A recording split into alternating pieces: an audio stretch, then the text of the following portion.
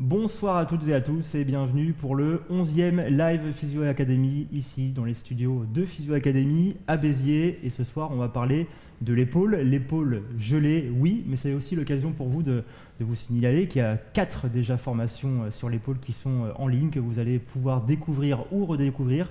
Et on en parlera justement au fur et à mesure de, de cette soirée et de l'avancement de cette soirée. Quatre acteurs à ma gauche aujourd'hui. Le cinquième, c'est comme d'habitude, c'est vous derrière votre écran, puisque vous avez la possibilité de poser vos questions. Vous êtes un petit peu fait piéger la semaine dernière. On a eu euh, certaines questions euh, trop tardivement, donc je vous invite euh, vraiment à, respecter les, temps et, à éviter de, les poser durant la dernière séquence pour être certain que l'on puisse vous répondre et que l'ensemble de l'équipe technique qui est juste derrière moi, bien cachée, puisse noter toutes ces questions et qu'on puisse prendre le temps de vous répondre avec nos experts. Je vous l'ai dit, ils sont quatre ce soir et le premier à ma gauche, c'est Mathieu Loubière. Alors vous avez la belle chemise Physio Academy, Mathieu, parce que vous êtes en ce moment même en train de tourner une formation. Vous êtes aussi euh, master kinésithérapeute. Comment vous êtes arrivé sur cette spécialisation de l'épaule? Eh bien, euh, bonsoir à, toutes et à tous. Euh, comment j'y suis arrivé? Je suis kiné depuis 2005.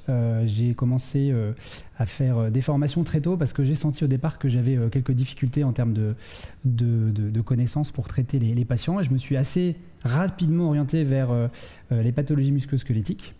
Et euh, au cours, au fur et à mesure de mes années, j'ai eu la chance d'intervenir euh, euh, à l'hôpital la première fois sur le thème de l'épaule. C'est une région qui m'a vraiment intéressé, entre autres parce que c'est compliqué. Il y a beaucoup de kinés qui pourront le dire, c'est un domaine qui est complexe. et donc, de fil en aiguille, eh ben, j'ai donné de plus en plus de cours. Euh, je me suis pas mal formé et aujourd'hui, si je fais une synthèse de mon activité, je suis euh, à mi-temps clinicien, deux jours par semaine, je travaille à, 3 euh, dans un cabinet où je suis spécialisé en musculosquelettique, je fais que ça. Je traite quasiment allez, 80% de rachis et d'épaule. Euh, l'épaule, j'aime particulièrement, et dans l'épaule, particulièrement l'épaule gelée. Et à côté de ça, je suis formateur en formation initiale euh, dans plusieurs IFMK, euh, donc je fais Dijon, Montbéliard et, Besançon, et également dans plusieurs organismes privés, hein, ce qui fait du coup des liens d'intérêt avec ces organismes dont Physio. Et peut-être le plus gros lien d'intérêt que j'ai, c'est que je suis co-gérant d'un organisme qui s'appelle GMK, dans lequel je donne pas mal de cours, qui est à peu près au centre-est, et donc dans lequel j'interviens beaucoup. Euh, voilà, je pense que la présentation est à peu près complète. Donc j'ai une double activité, un formateur et puis euh, clinicien. Et vous êtes donc en plein tournage, en pleine fin de tournage cette semaine. On va le découvrir aussi, on va revenir sur cette expérience. Vous êtes formateur. Être formateur devant un public, c'est une chose. Être formateur devant les caméras et les équipes de Physio c'en est une autre. On va donc revenir sur cette expérience dans quelques instants. Mais juste à votre gauche, lui aussi a la belle chemise Physio Academy parce que lui aussi est à la fois master kinésithérapeute et à la fois euh, formateur pour Physio Academy. C'est Fabrice Barillec. Bonsoir Fabrice. Bonsoir. Même chose, un petit peu votre, votre parcours et comment vous êtes arrivé sur cette, euh, cette spécialité pardon, de gelée. Alors, je suis euh, kinésithérapeute depuis 2001, un petit peu avant Mathieu. Euh, je suis moi aussi spécialisé en, en musculosquelettique, plutôt moins que mes collègues. Moi, je suis plutôt orienté vers tout ce qui est pathologie rachidienne. Je traite des épaules aussi, donc euh, ça sera un avis peut-être un petit peu différent de celui de mes collègues, et j'aurai peut-être aussi un petit peu de questionnement. Euh, je travaille en libéral à Paris, dans le 20e. Et j'ai aussi une activité d'enseignant, puisque j'enseigne euh, la physiologie articulaire à l'école de l'APHP à Paris. Et euh, en particulier, dans cet enseignement, je suis très intéressé par l'enseignement de l'épaule, parce que l'enseignement de l'épaule, c'est justement ce que disait Mathieu, quelque chose de compliqué, et euh, je trouve très intéressant de pouvoir le transmettre de façon à ce que les euh, futurs kinésithérapeutes comprennent bien l'épaule et qu'ils puissent ensuite s'approprier les pathologies de l'épaule. J'ai aussi une activité d'enseignant et de formateur, et j'enseigne essentiellement tout ce qui est cervicalgie, lombalgie, et plus particulièrement encore tout ce qui est technique articulaire, qui est un petit peu ma passion sur l'arachis. On va donc revenir là évidemment aussi dans le détail de votre parcours et, un petit peu de ce que vous euh, ressentez parce qu'on sent déjà votre côté euh, euh, passion. Vous n'êtes pas arrivé dans l'épaule par hasard et on va évidemment revenir là-dessus. À votre gauche, excellente et magnifique chemise également, mais pas Physio Academy pour l'instant, puisque vous êtes le troisième kiné, vous aussi. Et Guillaume Rénal, vous êtes avec nous ce soir. Merci d'avoir fait le, déplacement. Même principe, quel est un petit peu votre parcours? Comment vous êtes arrivé sur cette spécialisation de l'épaule? Ben, bonsoir à tous, merci de l'invitation. effectivement, je ne porte pas de magnifique chemise Physio Academy moi-même. J'ai ramené la mienne. Donc j'ai, moi, eu mon diplôme en 2015. Donc je suis probablement le plus jeune ici, j'imagine. j'ai eu un intérêt tout particulier pour le musculo-squelettique très rapidement parce que de par mes expériences dans mon, euh, dans mon, dans mon, cursus euh, initial et de par euh, des déboires personnels aussi. Ce qui fait que je me suis beaucoup intéressé aux pathologies du rachis, de l'épaule, mais je veux aussi voir hanche-genou, c'est les, régions qui m'intéressent tout particulièrement. comme mes collègues, j'ai une activité de clinicien, moi dans le nord de la région parisienne, dans le 95, ou dans un cabinet dans lequel je vois majoritairement des pathologies musculo-squelettiques, avec un peu comme Mathieu aussi, beaucoup de rachis, beaucoup d'épaules, mais du coup je vais un peu plus à euh, genou, je je, m'éloigne un tout petit peu, je me situe peut-être un petit peu entre, le, entre les deux en termes de variété, je pense. Euh, j'ai aussi une activité en tant que formateur en formation initiale dans quelques IFMK, principalement en région parisienne, et j'ai aussi une activité en tant que formation en tant que formateur en formation continue. Donc j'ai aussi des liens d'intérêt à déclarer euh, pour plusieurs, plusieurs organismes. Euh, dans l'organisme de Mathieu, justement, euh, où je propose euh, une formation, j'ai aussi une activité de traduction pour Mathieu. Et j'ai aussi une activité de formateur également dans le Rachis pour un autre organisme de formation. Je ne sais pas si je peux le, citer. Pour l'organisme qui s'appelle Kinéotop, où justement je propose aussi un abord du Rachis. peut-être peut-être différente de, de, celui de Fabrice, et je pense que c'est ça qui est, qui est, qui est intéressant. C'est que moi j'ai moins d'attrait pour les techniques articulaires. Euh, je, vais, je vais dans un abord un peu plus, euh, un peu plus, euh, un peu plus centré sur la fonction de la personne et moins sur les techniques articulées. Donc à la fois kiné vous aussi, à la fois euh, formateur euh, également, c'est un petit peu la, caractéristique de, tous les trois. Euh, on parle souvent de double casquette, alors lui c'est plus une double ni une triple casquette, c'est un bob qu'il a au-dessus de la tête, c'est Jean-Michel Grand qui est avec nous ce soir, le quatrième invité. Jean-Michel, blague à part, formateur Physio Academy, master kinésithérapeute du côté de, Perpignan et aussi responsable pédagogique ici à, à Physio Academy. On vous a déjà vu sur des lives, sur euh, le pied et sur d'autres lives thématisés. Pourquoi euh, cet euh, attrait, cette approche et cette envie de parler de l'épaule ce soir? Bonsoir Dorian, bonsoir à tous. En fait, l'épaule, c'est ce qui a été ma première passion dans la rééducation et dans la réathlétisation de pathologie, en tout cas en kinésithérapie. Euh, puisque c'est la première que j'ai mise en ligne pour Physio Academy. C'est comme ça que j'ai fait tous mes débuts euh, dans, le e-learning. Euh, c'était avec l'épaule. C'est aussi la thématique du Master 2 de recherche que j'ai fait en STAPS. C'était donc sur l'épaule instable du rugbyman. Et donc j'ai une grande, passion pour la rééducation de, l'épaule. Donc ce soir, de fait, je, pouvais être intervenant et, réagir un petit peu ou apporter ma connaissance sur, sur le sujet, de l'épaule instable, mais, mais pas que, puisque bien sûr, j'adore soigner euh, les capsules rétractiles ou l'épaule gelée. Euh, il y a une certaine particularité qui, euh, m'attire et c'est peut-être, je crois, sa, sa, difficulté. Plus les pathologies sont difficiles à traiter et plus j'adore les traiter. Peut-être que je suis un peu, un peu fou. en tout cas, c'est ma particularité.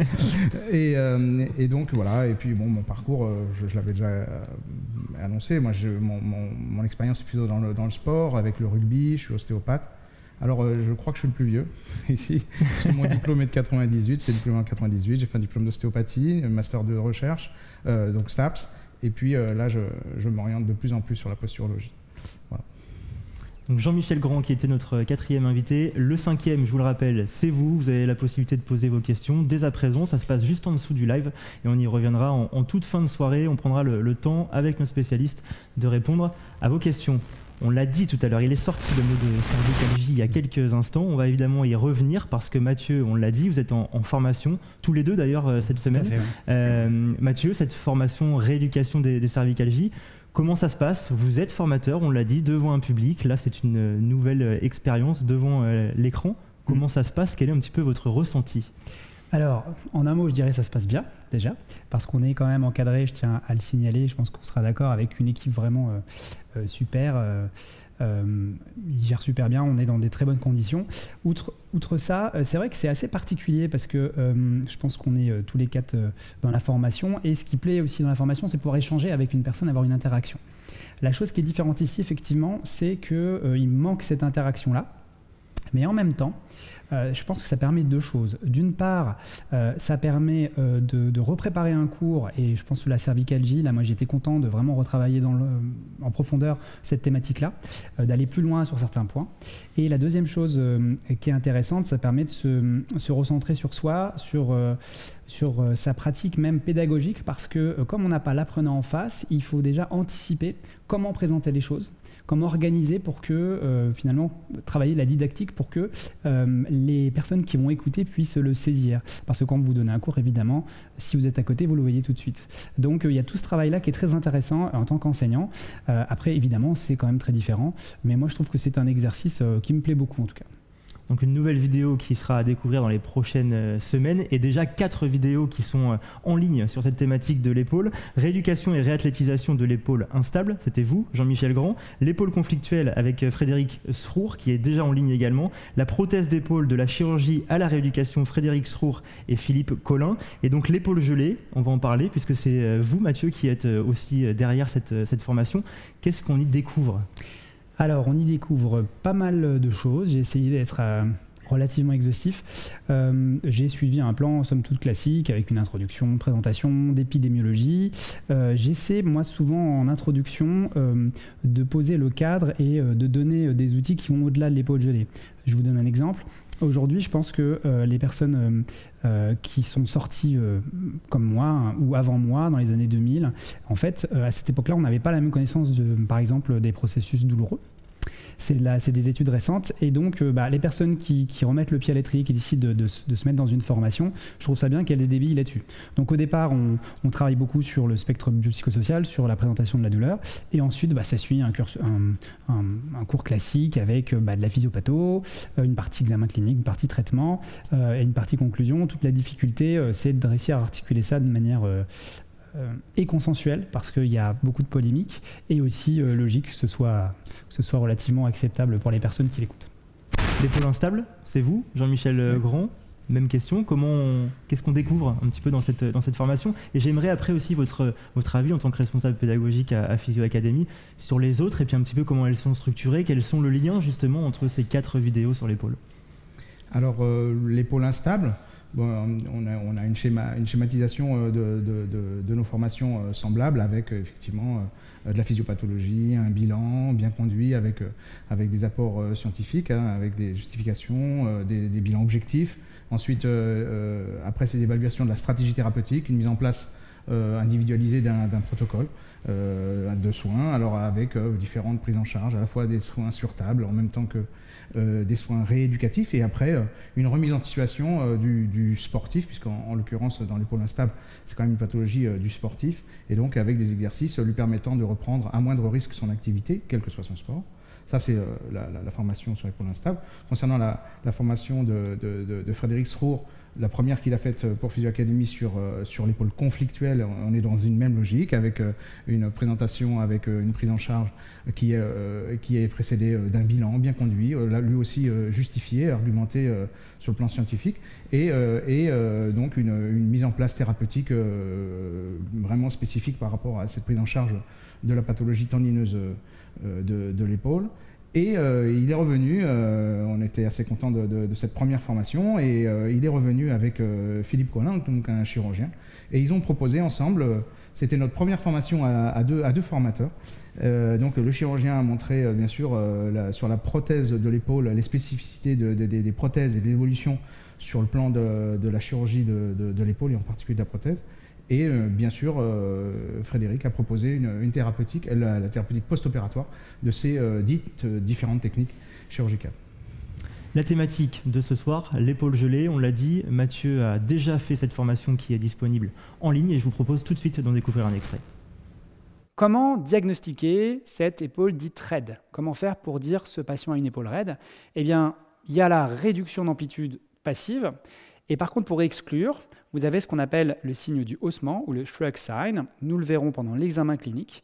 Lorsque vous allez demander une abduction bilatérale, si vous voyez le moignon d'épaule s'élever, ça veut dire que la personne va compenser avec son moignon d'épaule.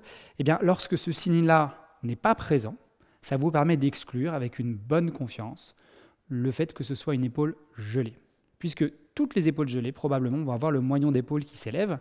Par contre, si le moignon d'épaule s'élève, ça ne veut pas dire forcément que l'épaule est raide. Donc c'est un test sensible pour exclure et pas un test pour inclure la pathologie. Attention, prenez garde, on peut avoir aussi une épaule raide pour des raisons plus d'exclusion. Armstrong, dans un article de 2015, euh, présente deux situations où la radio est dite euh, normale ou anormale dans euh, des situations traumatiques ou non traumatiques. Si vous êtes face à un problème de traumatisme, en général, lorsque la radio est anormale, vous allez retrouver des pathologies comme des luxations, des fractures, des luxations antérieures, postérieures, peu importe. Lorsque la radio sera normale, on sera plutôt dans le cadre de la rupture de coiffe. Dans les pathologies dites atraumatiques, la radio sera anormale lorsqu'on va avoir euh, des arthrites, des ostéonécroses, mais on peut également avoir des luxations non traumatiques qui vont entrer dans ce cadre-là. Enfin, quand c'est atraumatique et que la radio est normale, le problème peut provenir du tissu mou.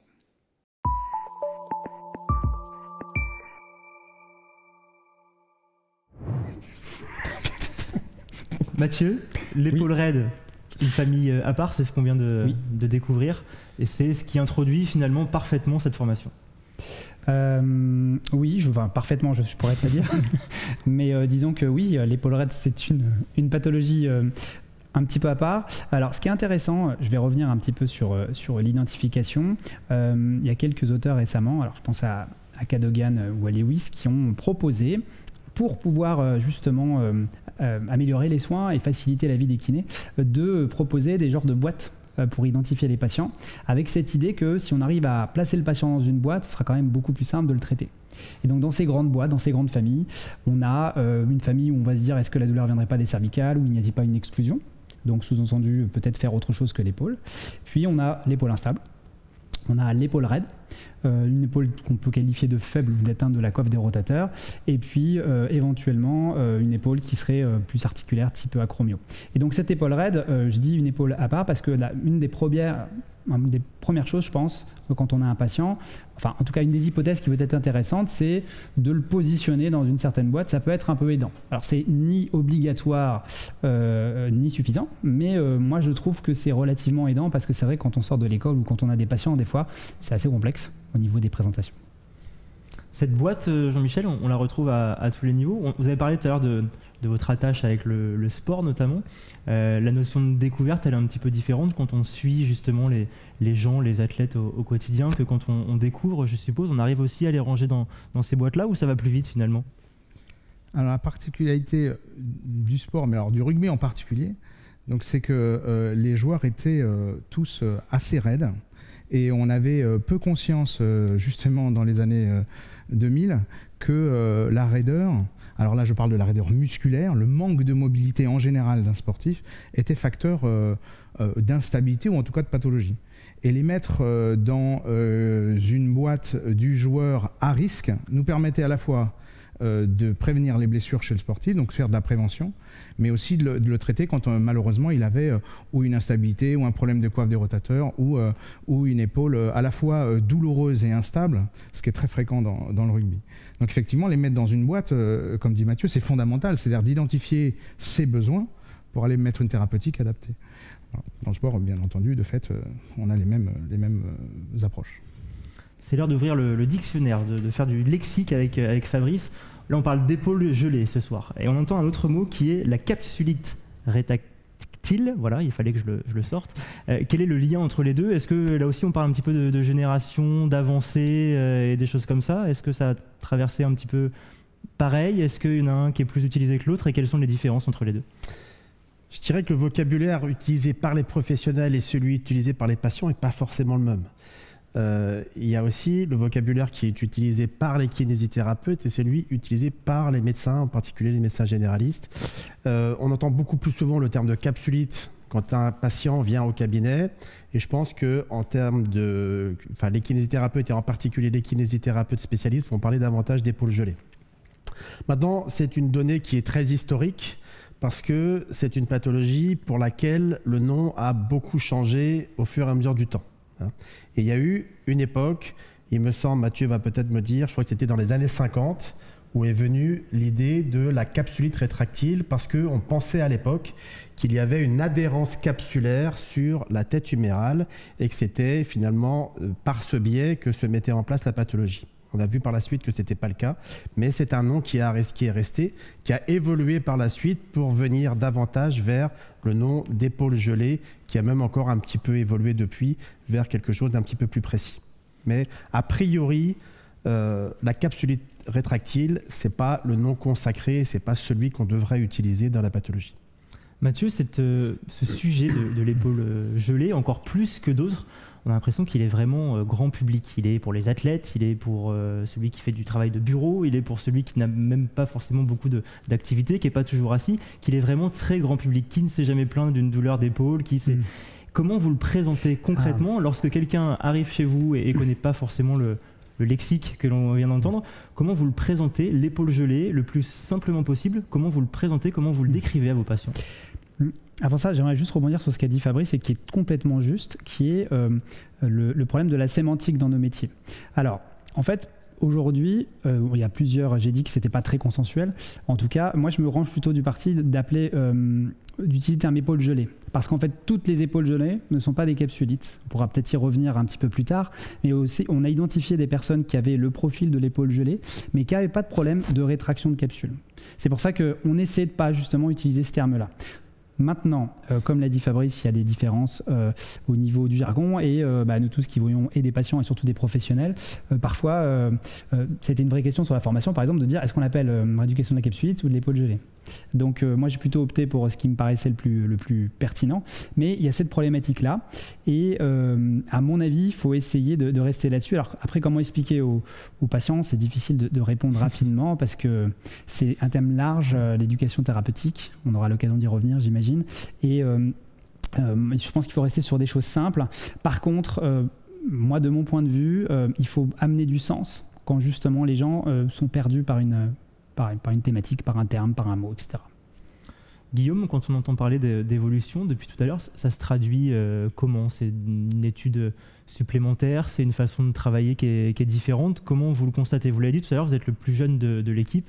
Euh, vous, comment vous le, vivez, ce traitement de l'épaule gelée, ce suivi de l'épaule gelée? Et est-ce que vous avez aussi le sentiment que ben, les choses évoluent quand même à vitesse assez rapide? Avec les patients Oui. Comment euh, je vis l'évolution de la prise en charge de ces patients-là Tout à fait. Ouais. Euh, plutôt bien, je dirais. Euh, et ça rejoint ce que disait Mathieu sur l'intérêt et l'importance qu'on donne à l'éducation, surtout sur cette pathologie-là. Je pense qu'on aura l'occasion d'y revenir juste après. Sur les informations qu'on donne aux patients et les clés de compréhension qu'on lui donne. Parce que c'est par les clés de compréhension qu'on va lui donner qu'on va pouvoir améliorer plusieurs choses, son vécu, son observance, tous ces éléments-là, tout ce qu'on va lui apporter vont euh, l'aider à mieux cerner ce qui lui, a, ce qui lui arrive. Alors, je, rejoins effectivement l'importance de la sémantique euh, de mes collègues. Et si je peux me permettre d'apporter peut-être un truc, je pense que on a tendance à utiliser des mots qui correspondent à nos outils de travail. Euh, en clinique, je pense que mes collègues seront, seront d'accord sur le fait qu'on travaille avec des épaules, pas avec la capsule, sous-entendu l'anatomie. un chirurgien, lui, a accès avec son bistouri aux structures plus profondes. Donc lui verra la capsule. Alors que nous, tout ce qu'on voit, c'est une épaule qui bouge pas. Donc je pense que le choix de la sémantique est aussi conditionné par en fait ce à quoi on se confronte entre guillemets, à savoir une épaule qui bouge pas. Euh, donc je pense que nous, on aura une préférence en tant que clinicien pour le terme d'épaule gelée, là où effectivement un chirurgien qui lui va ouvrir et, observer des adhérences ou non, parce qu'effectivement des fois il y en a, des fois il n'y en a pas. En fait, je pense qu'on va en reparler un petit peu. Je crois que c'est euh, sur, plutôt la pathologie, mais c'est un spectre en, fait qui est très variable. Des fois il y en a, des fois il n'y en a pas. Et je pense qu'en tant que clinicien, c'est important de euh, rester humble sur le fait qu'on n'a accès qu'à l'épaule. Mais je pense que pour le patient, c'est pas plus mal parce que ça lui évite d'aller peut-être visualiser des choses qui sont pas forcément toujours là, pas forcément utiles et qui vont pas forcément déboucher sur, sur euh, un changement dans, dans, une prise en charge, qui, du coup, dans mon vécu, euh, ben, dans l'évolution, je suis peut-être pas certain d'avoir bien saisi la question, euh, mais avec les patients, euh, non, du coup, je suis pas certain d'avoir bien saisi la si, question. vous l'avez très bien saisi. Ok, Guillaume, vos explications sont très claires. Bon, ouais, tout va bien. J'ai eu un doute. Rassurez-vous, non, non, c'était c'était bien le, le sens de la question avec, cette, avec cette approche-là. Jean-Michel, on a beaucoup parlé de posturologie dans d'autres euh, lives, pareil que les autres fois. Est-ce qu'il y a une incidence suivant comment je me tiens euh, Est-ce que ça peut amplifier un, mal? Est-ce que ça peut même le créer? Alors c'est vrai que euh, suffisamment d'études aujourd'hui montrent euh, une attitude posturale favorisant les ennuis en général d'épaule. C'est des attitudes épaules enroulées, en tout cas les scapulas dans un plan sagittal. Une scapula qui aurait malheureusement trop euh, cette position sagittalisée va avoir malheureusement une influence sur euh, la position réciproque de la glène euh, hum- de, de l'omoplate par rapport à la tête humérale. Elle va avoir une malposition, cette omoplate, et elle va mal bouger. Elle va avoir une dyskinésie. Donc aujourd'hui, les publications qui évoquent les facteurs favorisant des pathologies de l'épaule dans tout le spectre qu'on a évoqué euh, évoquent bien, euh, les, travaux de, Ben Kibler le- sont suffi- suffisamment clairs là-dessus, il y a une influence euh, importante des pathologies posturales en lien avec cette malposition et cette mauvaise cinétique de la scapula sur les prédispositions aux pathologies de l'épaule. Dans l'épaule instable, ça a été prouvé. Dans l'épaule conflictuelle, ça a été prouvé. Et aujourd'hui, la problématique de l'épaule euh, gelée, c'est que c'est une épaule qui a euh, une, o- une- comment dire, la physiopathologie euh, de l'épaule gelée, elle est, c'est celle qu'on connaît le moins. Alors on sait qu'il y a une influence de cette malposition de la scapula, mais il y a d'autres facteurs bien nombreux qui pourraient la favoriser, à savoir euh, par exemple des antécédents euh, traumatiques, des antécédents chirurgicaux, euh, d'autres pathologies, une comorbidité voilà. Donc il y a tellement de facteurs qui peuvent favoriser et, occasionner une, épaule gelée que le facteur postural, on peut pas nier, il est influent, mais euh, il est euh, il fait parmi tant d'autres. C'est-à-dire qu'il doit- rentrer euh, dans un spectre important de facteurs qu'il faut rechercher dans la pathologie qu'on va traiter. Au-delà de, ça, je, m'inscris euh, dans les propos qui ont été dits. Je voulais juste compléter quelque chose. Au-delà de la posture, moi, ce qui me paraît intéressant quand je, je discute avec mes patients qui euh, vivent euh, avec le monde d'aujourd'hui, avec les réseaux sociaux, avec les gens qui influencent et des fois qui influencent mal, selon moi, euh, avec des visions parfois un petit peu rugueuses sur les postures. Juste pour quand même préciser aux gens qui nous écoutent, s'il y a des patients peut-être, que en fait, on peut aussi considérer qu'une posture en soi, si on la prend comme ça, de façon unique, a priori, que sur l'esthétique, ça présente pas d'intérêt de dire elle est bonne ou elle est mauvaise. Par contre, ce qui peut être intéressant peut-être, c'est de se poser la question, c'est souvent ce que j'explique à mes patients, que vous, vous soyez enroulé 5 minutes, ça me pose pas de problème. Par contre, que vous y restiez 3 heures et que vous soyez pas capable d'en sortir, ça c'est plus problématique. Donc on a euh, on, l'a dit tout à l'heure pendant la formation, euh, cette phrase qui la, la meilleure posture, enfin il n'y a pas de bonne ou mauvaise posture, hein, euh, pour paraphraser le scribe, il y a surtout la meilleure posture, c'est la suivante. Donc gardez à l'esprit quand même, même s'il y a des postures qui pourraient prédisposer, je mets des guillemets, à quelque chose, euh, derrière moi ce qui m'importe surtout, c'est que euh, est-ce que mon patient il a les capacités d'en sortir? Donc là on parle de contrôle moteur et je pense justement dans la stabilité c'est très important. Euh, est-ce qu'il a compris qu'il pouvait en sortir? Et derrière, pour rebondir sur ce que disait Guillaume, au niveau éducation, auto-management, est-ce qu'il a compris qu'il y avait des choses qu'il pouvait faire dans la journée pour justement éviter cette majora- ce, ce truc qui est majeur? Pour revenir à la sémantique, je dirais qu'il y a aussi une double problématique. L'une qui est presque un peu positive et l'autre qui l'est beaucoup moins. Euh, le terme de capsulite rétractile euh, permet au patient d'avoir, d'identifier un tissu, que ce soit vrai ou pas d'ailleurs. Et souvent, c'est la recherche du patient. Le problème, est-ce que le terme capsulite rétractile n'est pas un peu catastrophisant pour le patient? D'avoir cette capsule lui, il serait intéressant de voir quelle est l'image qu'il a de cette capsule rétractée et euh, est-ce qu'il ne va pas se demander comment est-ce qu'elle va réussir à se relâcher, etc. Et est-ce que ça ne va pas avoir un effet sur la potentielle amélioration du patient? Donc les mots ont un sens et euh, c'est une vraie problématique justement que cette sémantique. On, parlait du, suivi que vous avez de cette rééducation, on peut l'appeler comme ça, en, en posturo. Guillaume, comment on, fait? Moi, je, sais par exemple que je suis souvent courbé. Comment on rééduque un, patient euh, comme moi? Il faut qu'il en ait conscience, ça peut être le cas. Mais quand on a l'habitude depuis des mois, des années d'être toujours dans une mauvaise posture ou, ou en tous les cas d'une façon trop longue, si j'ai bien compris, comment on, mauvaise posture. comment, comment on approche euh, ça? C'est aussi une approche euh, mentale qui est hyper importante.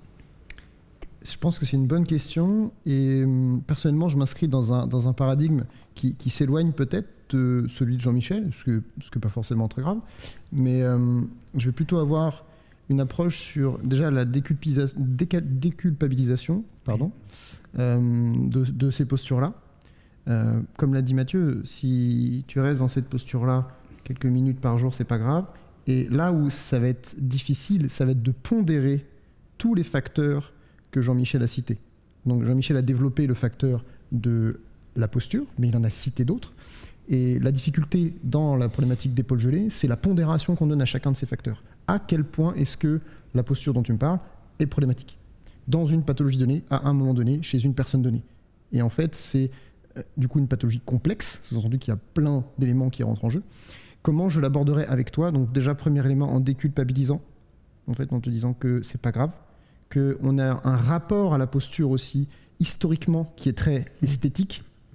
En fait, on a une, vision du corps qui est très orthonormée par rapport à des normes. On est censé être comme ci, comme ça, qu'elle est comme ci, comme ça. Or, la le propre de l'être humain, ça reste la variance. On n'est pas tous foutus pareil, on n'a pas tous des os de la même longueur, etc., etc. Alors, ça peut avoir des conséquences biomécaniques, parce qu'effectivement, si j'ai des os plus longs, bah, j'aurai des bras de levier plus longs. Il y aura des conséquences biomécaniques. À quel point est-ce que ces conséquences seraient problématiques pour toi? Ça, ça s'étudie.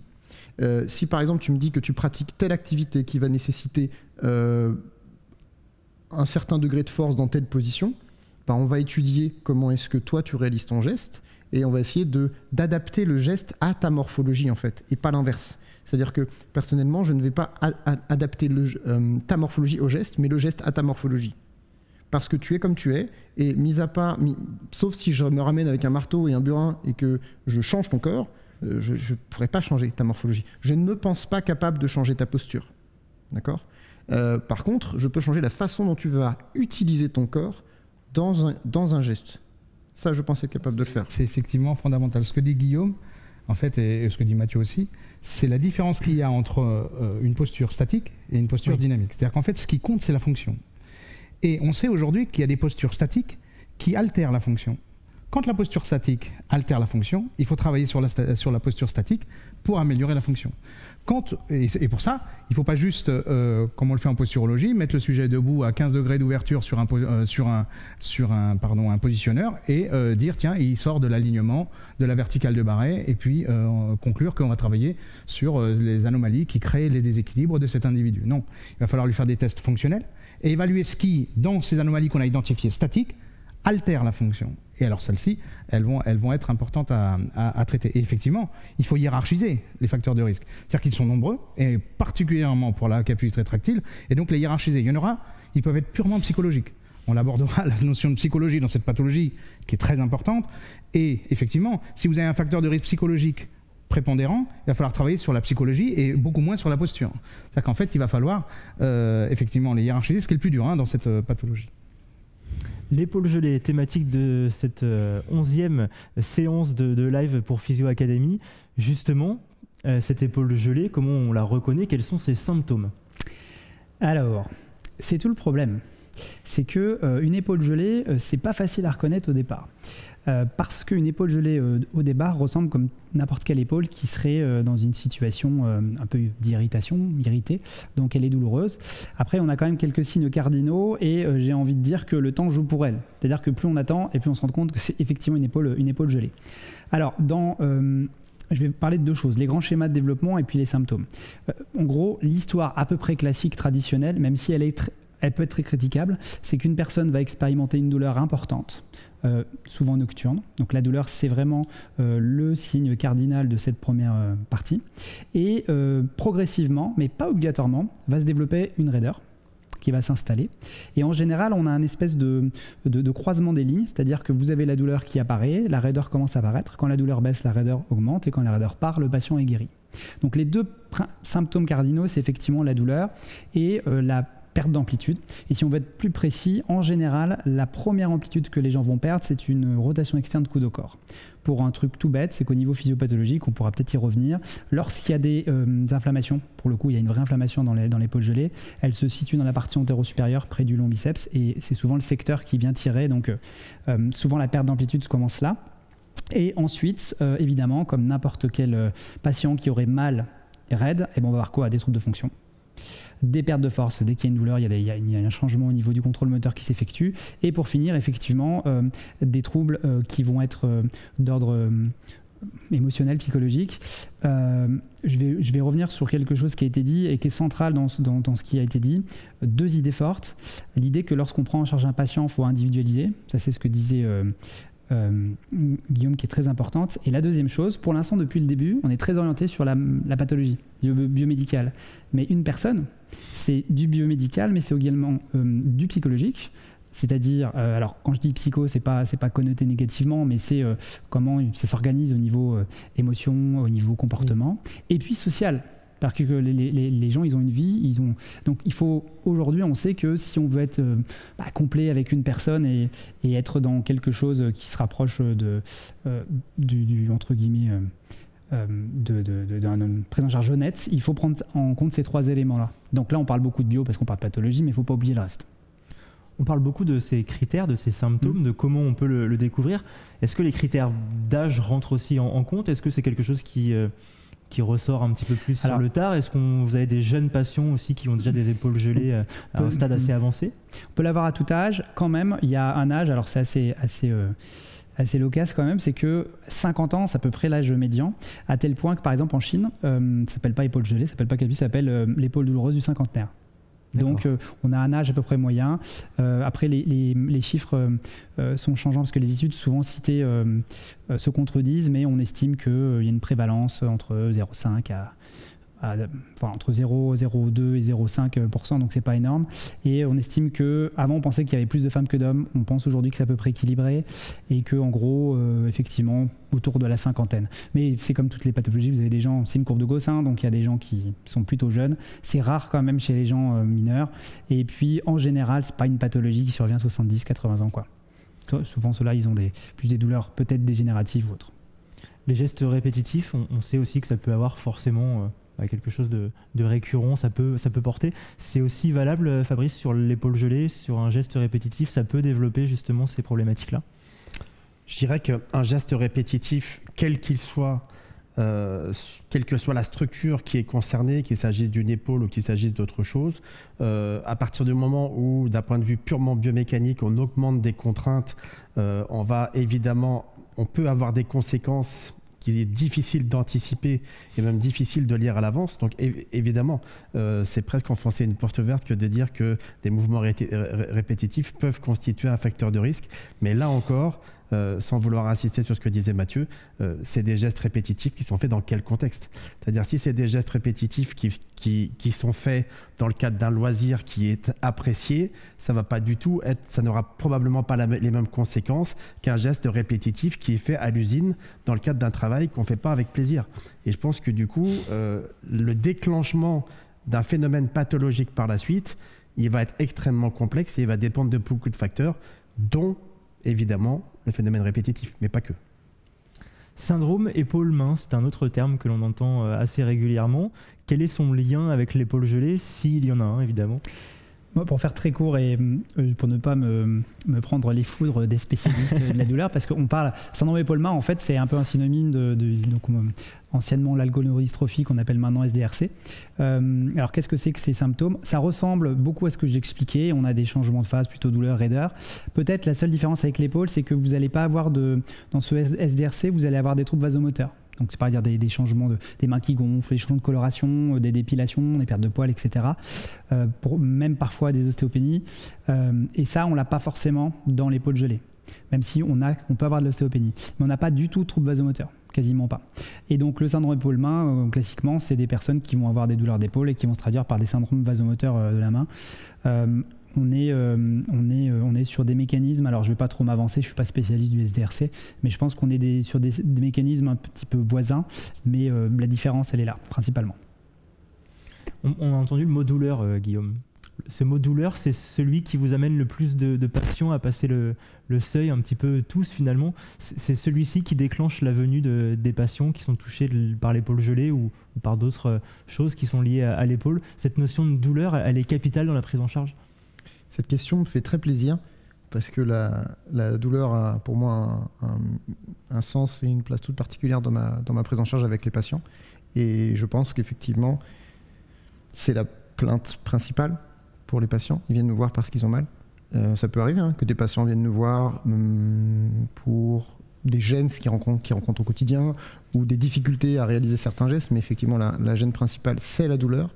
C'est pour ça que euh, je pense que, hum, que Mathieu, dans le e-learning, si j'ai bien compris, a mis une grosse emphase sur la compréhension du phénomène douloureux qui a énormément évolué.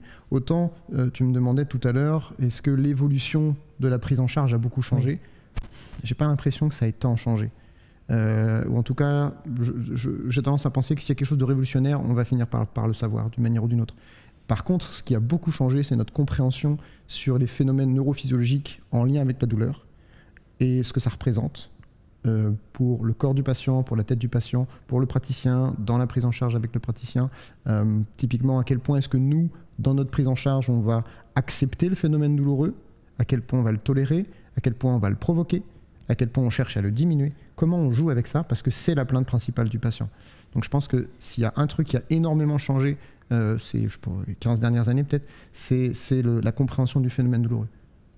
Fabrice, on traite la douleur en priorité et on traite un petit peu plus les, causes dans un second temps C'est ça où on arrive à traiter les deux de front, aussi bien euh, être actif sur la douleur et être actif sur le fond du problème? Je ne pense pas qu'on puisse isoler euh, réellement la douleur. Euh, est-ce qu'on va prioriser peut-être la douleur? Peut-être oui, mais la douleur, comme on l'a dit, est un phénomène tellement complexe. Je crois qu'il va falloir surtout analyser, analyser les causes, euh, analyser les causes de la douleur. Pour ça, il va falloir, euh, ça c'est des mots qui nous sont chers, qu'on a beaucoup utilisés aussi dans la formation cervicagie. Je crois qu'il faut euh, un peu catégoriser, presque phénotyper le, patient de façon à pouvoir mettre en avant les éléments qui peuvent être des facteurs nociceptifs, qui vont être éventuellement des facteurs qui peuvent, être, qui peuvent allumer un peu le, facteur douloureux. Et puis, on peut aussi mettre en évidence les facteurs qui vont faire en sorte qu'au niveau du système nerveux central, on va avoir peut-être des défauts d'intégration ou bien le fait que la douleur elle soit portée à la conscience alors qu'elle ne le devrait peut-être pas.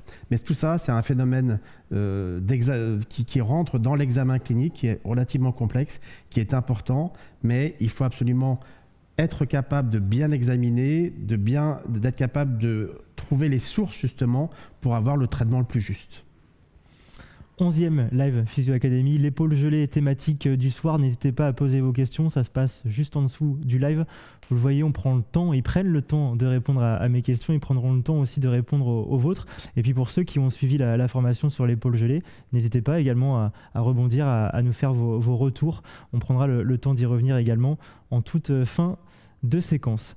Mathieu, on a un petit peu euh, mis les, contours, là, ça y est, on, sait comment on arrive à, trouver, à trouver tout ça. Est-ce qu'il y a des tests aussi euh, euh, cliniques Comment vous manipulez les gens pour, pour voir un petit peu et pour finalement aller un petit peu mmh. faciliter, mettre, mettre à jour votre diagnostic, alors que ça soit pour l'épaule gelée ou, ou, pour aussi la capsulite, parce qu'on va prendre les, deux. Mhm. Cliniquement, comment ça se passe Quand on vient vous voir, vous avez votre idée, mais euh, au niveau clinique, comment vous procédez euh, ok.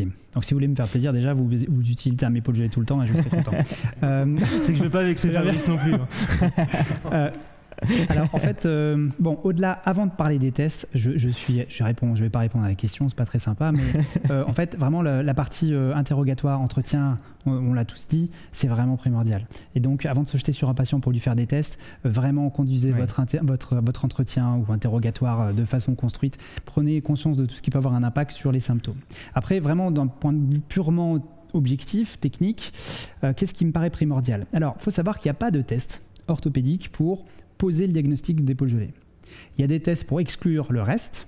D'accord. Pour exclure une épaule raide, éventuellement. Euh, mais il n'y a pas de test pour, euh, pour le positionner. Par contre, ce qui est primordial, c'est euh, de mettre en relation les antécédents, l'examen clinique, en tout cas le comportement douloureux, et également le bilan, ce qui me paraît primordial, c'est le bilan de la mobilité de l'épaule, parce qu'en général, ces épaules gelées vont être raides, et donc bah, la raideur se voit sur la mobilité active et passive concrètement. C'est ça la grosse différence d'ailleurs entre une épaule qui serait dite faible d'une épaule raide. L'épaule faible peut avoir une perte d'amplitude seulement active, mais en général, en passif, s'il n'y a pas trop de symptômes douloureux, on peut avoir l'amplitude complète. Donc ce, cet examen de l'amplitude est... Euh, clairement, euh, clairement important. Et puis on a un petit challenge, on n'en a pas encore parlé, peut-être que ça viendra aujourd'hui, c'est qu'on sait que dans cette population d'épaules gelées, on a dit que la capsulite était dedans, mais on a une sous-population de patients qu'on a identifié il y a, on va dire, 5 euh, ans, 5-7 ans, dans des, dans des cas cliniques, euh, qui en fait sont pas des gens qui ont des problèmes de capsule, mais qui ont des gens qui ont des spasmes musculaires profonds, notamment des muscles de la coiffe, qui viennent verrouiller leur épaule. Et c'est hyper intéressant, et moi je trouve ça hyper excitant justement, parce que ces patients-là, on ne sait pas encore tellement les identifier, on a quelques pistes, mais il est fort probable que si c'est un problème purement musculaire, les outils pour les traiter n'auront rien à voir avec ceux justement qui ont des remaniements capsulaires. Donc euh, peut-être qu'on verra venir des tests euh, orthopédiques ou des questionnaires, des choses pour nous aider euh, sur cette, mise à jour physiopathologique. Fabrice, on a entendu tout à l'heure que plus le temps passait finalement et plus ça a aidé à, poser le, bon diagnostic, notamment dans, le cadre de cette épaule gelée. Est-ce que le, temps qui passe, parce que là encore, on parlait de douleur tout à l'heure avec, euh, Guillaume, vous allez avoir un rapport à la douleur qui va être différent euh, du mien. Certains vont arriver sur une phase plus tardive que d'autres. Est-ce que c'est clairement en défaveur du, suivi Plus je viens tard et, finalement plus on, rame un petit peu pour, pour être réparateur au niveau de cette épaule gelée? Je pense effectivement que plus le diagnostic peut être, peut être fait tôt, mieux c'est. Hein. Et, euh, et j'ai moi-même, je suis passé totalement à côté d'un diagnostic il y a peu. Euh, je me pose même la question de comment c'est arrivé. Euh, parce que justement, c'est, euh, comme l'a dit Mathieu, c'est une pathologie pour laquelle on n'a pas un test qui va nous dire c'est une épaule gelée. Et c'est un patient qui est arrivé qui avait, qui avait une fracture luxation de l'épaule, donc quelque chose de différent. qui avait des problèmes de coiffe associés, qui dès le départ avait des problèmes d'amplitude, qui dès le départ avait une raideur qui était assez, clair. Avec, il n'a pas eu une très grosse phase douloureuse, mais il a une phase douloureuse, mais qui pouvait totalement coïncider avec l'événement initial. Et c'est vrai que ça a traîné. Ça a traîné, mais je me disais, ce patient est âgé, ce patient a un état orthopédique qui n'est pas forcément très bon, ce patient, euh, bah, il a juste un retard de, récupération parce qu'il a une coiffe qui n'est pas en très bon état. Et le jour où il a fait les examens euh, et que il y avait une suspicion de capsulite, je me suis dit, mais bien sûr, comment n'y ai-je pas pensé? Euh, Mais j'ai été noyé en fait parce qu'il y a beaucoup de signes cliniques de l'épaule gelée qui sont communs à d'autres problématiques de l'épaule en fait. Et là, j'ai pas senti en fait la bascule entre une pathologie post-traumatique relativement classique et puis le, fait que ça dure et que finalement ça ait basculé sur l'épaule gelée. Euh, ce que dit Fabrice, effectivement, en fait, on fait une découverte, malheureusement, qu'on est en train d'évoluer malheureusement vers une, euh, épaule gelée, quand on a euh, le constat que l'épaule s'enraidit et qu'on n'a pas de résultat. Au départ, donc en phase 1, on a une épaule inflammatoire et douloureuse, mais pas encore raide. Donc à ce stade-là, on recherche des causes de la douleur, que sont des douleurs euh, d'épaule conflictuelles, des douleurs d'épaule tendineuses. Pourquoi, une épaule, pourquoi pas une épaule avec une moindre stabilité, avec des, phénomènes de conflit euh, dans, une pratique sportive par exemple. Donc on n'a pas au début cette, euh, cette idée-là. Euh, vient euh, malheureusement euh, cette, cette, suspicion d'une épaule peut-être gelée ou qui, qui quand elle commence à s'enraidir et que les résultats de notre thérapeutique sont laborieux et qu'on n'arrive pas à soulager le patient. À ce moment-là, on est en train de constater peut-être l'évolution vers une épaule gelée, plus tardive. On parlait du bilan tout à l'heure, Jean-Michel, vous avez traité l'épaule instable. Est-ce qu'il y a une différence de, bilan entre l'épaule instable et l'épaule gelée? Alors j'allais dire non. Parce qu'en fait, de manière un petit peu euh, euh, méthodique, euh, un bilan suit toute, une, recherche à la fois donc l'anamnèse, la mobilité, les, tests, fonctionnels, les tests de, de douleur. Je dirais que non, puisque euh, le, process est le même. Par contre, évidemment, on ne va pas faire les mêmes constats et on ne va pas faire les mêmes découvertes. Euh, pour ma part, je, fais un test où je rentre dans le monde de l'épaule, on va dire, douloureuse, où je rentre dans le monde de l'épaule instable, instable ou douloureuse. Et dans le monde de l'épaule douloureuse, je mets toutes ces pathologies d'une épaule que je pourrais identifier raide.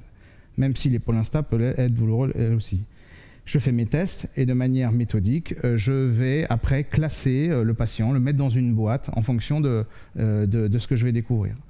Donc, de fait, non.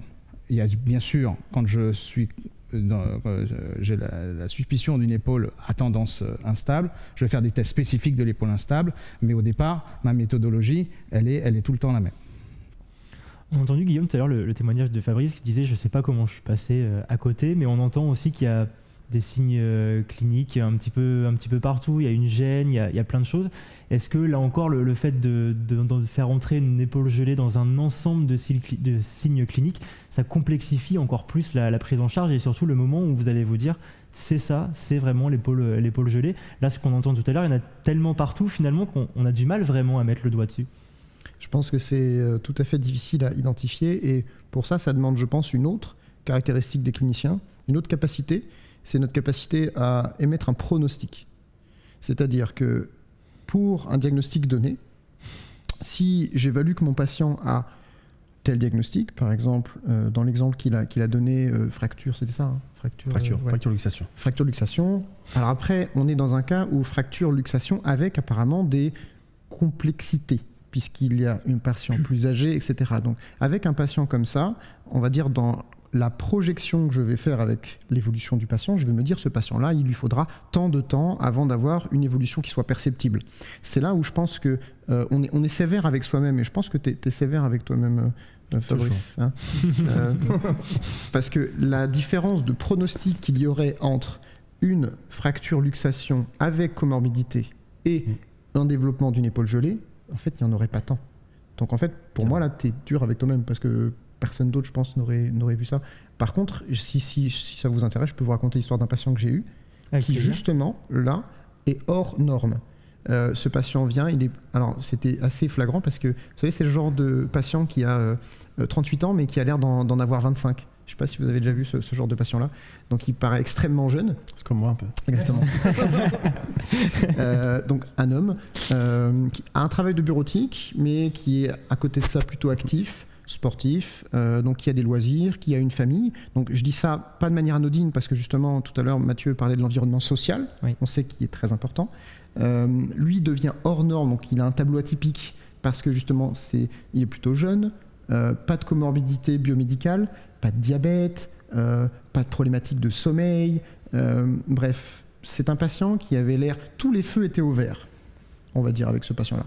On fait l'examen, il a une pathologie qui pourrait être qualifiée de non spécifique, puisque aucun, aucune boîte ne sort particulièrement, à part une grosse boîte qui va être l'épaule faible et douloureuse, parce qu'il a un peu moins de force et puis il a un peu mal. Bon, on le fout là-dedans. Et euh, à part une restriction d'amplitude, mais qui, au moment du bilan, je l'ai attribué plutôt au phénomène douloureux.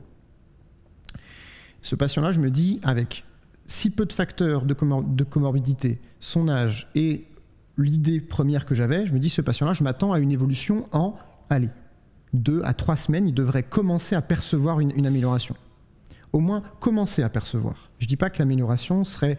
Euh, je ne dis, dis, pas que son état sera résolu, mais le patient devrait commencer à recevoir. Parce que sur ce type de profil-là, tout à l'heure Fabrice parlait de phénotypage, de profilage, on est capable de profiler un peu les gens. Ce type de profil-là, on s'attend à ce qu'il s'améliore de manière perceptible en deux, trois, quatre semaines. Ce patient-là, euh, on le voit une fois par semaine pendant quatre semaines. Aucune amélioration, mais aucune. Zéro.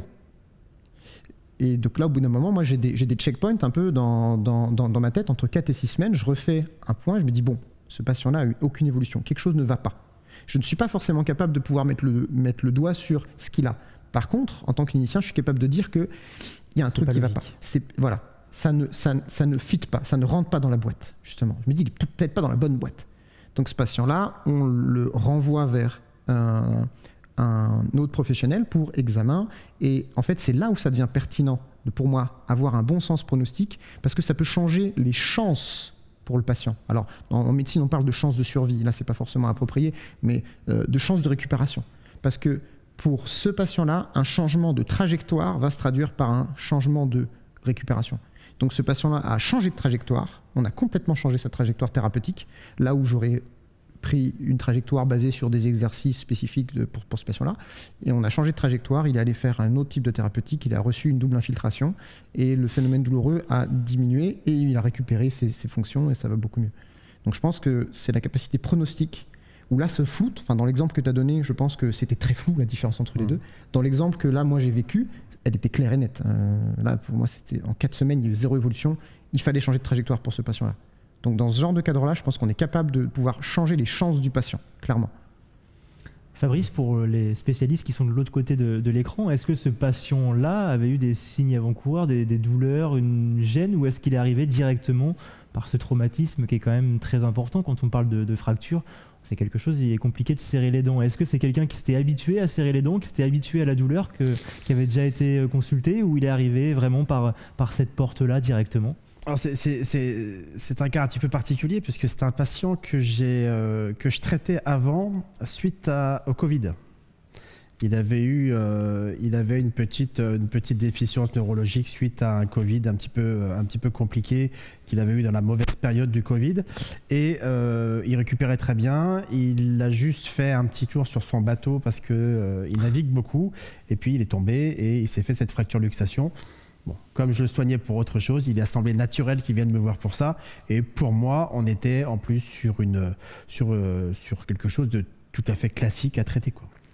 Donc euh, voilà. Mais euh, au départ, et c'est ce qu'a très bien expliqué Guillaume, c'est vrai qu'on est véritablement sur une épaule post-traumatique avec comorbidité. Et finalement, la frontière entre cette épaule post-traumatique avec comorbidité et son évolution particulière, entre ça et l'épaule gelée, euh, la frontière, elle n'est pas très très large. Autant de caractéristiques que de patients, donc. Et donc, l'occasion toujours de poser euh, vos questions. On y reviendra en toute fin de live. N'hésitez pas. Mathieu, on a entendu ce côté diagnostic, ce côté je me remets en question, ce côté boîte. On entend aussi évidemment beaucoup parler d'imagerie. Alors, ce n'est pas une nouveauté, hein, c'est quelque chose qui existe depuis très longtemps. Est-ce qu'il y a une imagerie euh, spéciale ou euh, typique qui rentre justement dans, cette recherche de, l'épaule gelée? Ou est-ce que là encore, vous avez un, panel d'outils qui est quand même assez important? Alors, on aimerait bien avoir un outil euh, qui nous permette de dire c'est ça. Mais en fait, on a surtout des outils qui nous disent. c'est ça parce qu'on ne trouve pas autre chose. Je m'explique on dira, en simplifiant, que l'épaule gelée, c'est la seule épaule raide qui a une imagerie négative. D'ailleurs, ça peut pas faire partie des, critères diagnostiques. C'est-à-dire qu'on a une épaule qui s'enraidit, on passe une imagerie, il n'y a pas d'arthrose, il n'y a pas de fracture, il n'y a pas de calvicieux, bah, on pense à une épaule gelée. Alors de temps en temps quand même, dans les formes très raides, on peut, on peut avoir l'IRM qui permet un peu d'observer, euh, euh, comment dirais-je, le le, après la capsule. Euh, et on peut aussi imaginer que certains, euh, alors c'est pas vraiment de l'imagerie diagnostique, mais ça va être de l'imagerie de traitement, euh, les infiltrations, les dilatations, on peut voir des signes, mais en fait on n'a pas d'examen de, clinique qui le permettent de le faire. Et je vais peut-être faire une généralisation abusive, mais de façon très générale, pour l'épaule en tout cas, c'est pas très souvent que l'imagerie est aidante. Et je pourrais étendre cette euh, généralité à euh, l'ensemble du corps. L'imagerie, si vous voulez, nous permet d'exclure des pathologies qui sont graves. L'épaule, c'est par exemple euh, la luxation postérieure, ça va être les fractures, ce genre de choses. Mais une fois qu'on est sorti de ce truc-là, c'est pas très aidant. j'apprendrai, voilà, je vous apprendrai rien en vous disant à ceux qui écoutent que bah, une imagerie de coiffe, une rupture de coiffe en fonction de l'âge, bah, ça peut être complètement normal. Donc, ça n'est pas très aidant. C'est une réponse longue. non, mais elle, pour est, moi. elle est précise également.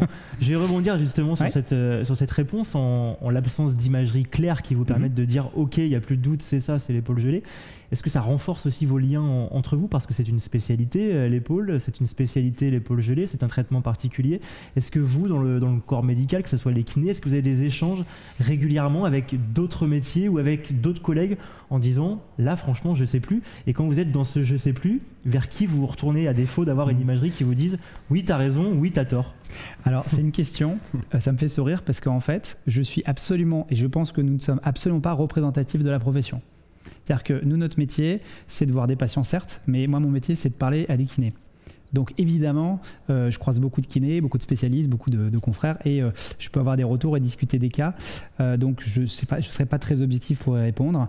Maintenant, on est dans une, pour parler de façon un peu plus large, je pense que petit à petit on va évoluer vers des spécialisations et c'est vrai que euh, ça devient compliqué. euh, on a un panel énorme en kinésithérapie, on peut intervenir dans plein de trucs. Ça devient compliqué euh, d'être pertinent et performant en tout.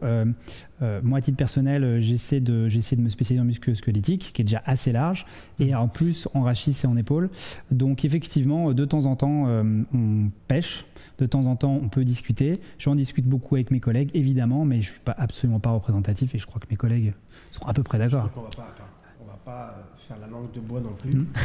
Euh, si jamais j'ai une difficulté sur une pathologie d'épaule avec laquelle je ne m'en sors pas, je vais pas l'adresser chez le médecin généraliste. Ouais. Parce que le médecin généraliste et pas. la, la grande majorité des médecins généralistes honnêtes, ils vont vous dire que ils ont une formation dans le musculo-squelettique qui est relativement insuffisante et qu'ils ne vont pas être une valeur ajoutée pour nous. Donc si jamais j'ai une difficulté avec une épaule, je vais adresser chez un kinésithérapeute plus spécialisé que moi dans l'épaule. Tout simplement. Je crois qu'il ne faut pas avoir peur de le dire. C'est comme- enfin, en tout cas, je pense que c'est comme ça que ça fonctionne pour une majorité de confrères. Aussi, euh, bon, on peut l'adresser à un rhumatologue. Le rhumatologue, lui, connaît aussi euh, la capsule rétractile. Il va peut-être, peut-être faire une scintigraphie osseuse. La scintigraphie osseuse peut montrer certaines choses. euh, une certaine inflammation, ça peut flasher un petit peu sur la scintigraphie, mais ça va pas être de manière formelle une, capsulite ou une, une- une épaule gelée. C'est-à-dire qu'en fait, effectivement, on peut voir euh, quelque chose qui va être peut-être inflammatoire. On va confirmer le stade inflammatoire euh, euh, au, stade, du début, peut-être, si l'évolution est défavorable, mais on n'aura pas la certitude que c'est bel et bien une épaule gelée. Et le rhumatologue peut nous aider. C'est vrai que les infiltrations, ça a été évoqué par Guillaume tout à l'heure, les infiltrations peuvent volontiers bien aider le patient parce que la douleur, et ça a été aussi évoqué par Guillaume, c'est un vrai frein à notre évolution et au travail. On en, on en reparlera de la douleur un peu plus tard, mais je sais que euh, parfois euh, l'infiltration, alors que je- j'en suis euh, absolument euh, opposé pour la prise en charge d'un sportif dans une prise en charge pour le soulager, peut-être euh, pour gagner du temps, ça c'est exclu dans, dans, ce- dans ce contexte-là. Mais dans le cas particulier de la capsule rétractile, j'admets que euh, ça peut m'aider à soulager le patient et donc à travailler. Parce que ce qui l'empêche de travailler, l'empêche de, de- de progresser en fait. incroyable et tu as connu cette époque-là puisque on est à peu près de la même génération. Pendant les premières années de mon activité professionnelle, on me disait surtout on n'infiltre pas les capsulites.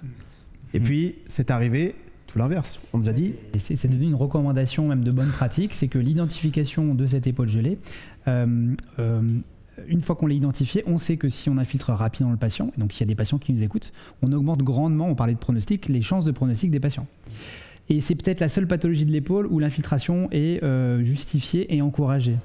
Euh, et c'est important de le dire parce qu'on a beaucoup de patients qui ont entendu que les infiltrations c'était mauvais pour ci, pour ça, pour les tendons. Là, on infiltre directement la capsule et euh, c'est euh, vraiment le jour et la nuit. Ça permet effectivement de progresser plus vite et ça réduit vraiment le temps de cette pathologie qui peut être quand même assez long, Oui. hein, de nombreux mois. Je pense que ce qui a aussi beaucoup changé, toi tu parlais de changement entre deux époques, c'est qu'entre temps, on a des données qui sont apparues et bah, on a aussi une, une- pratique qui peut être informée par euh, certaines données de la science.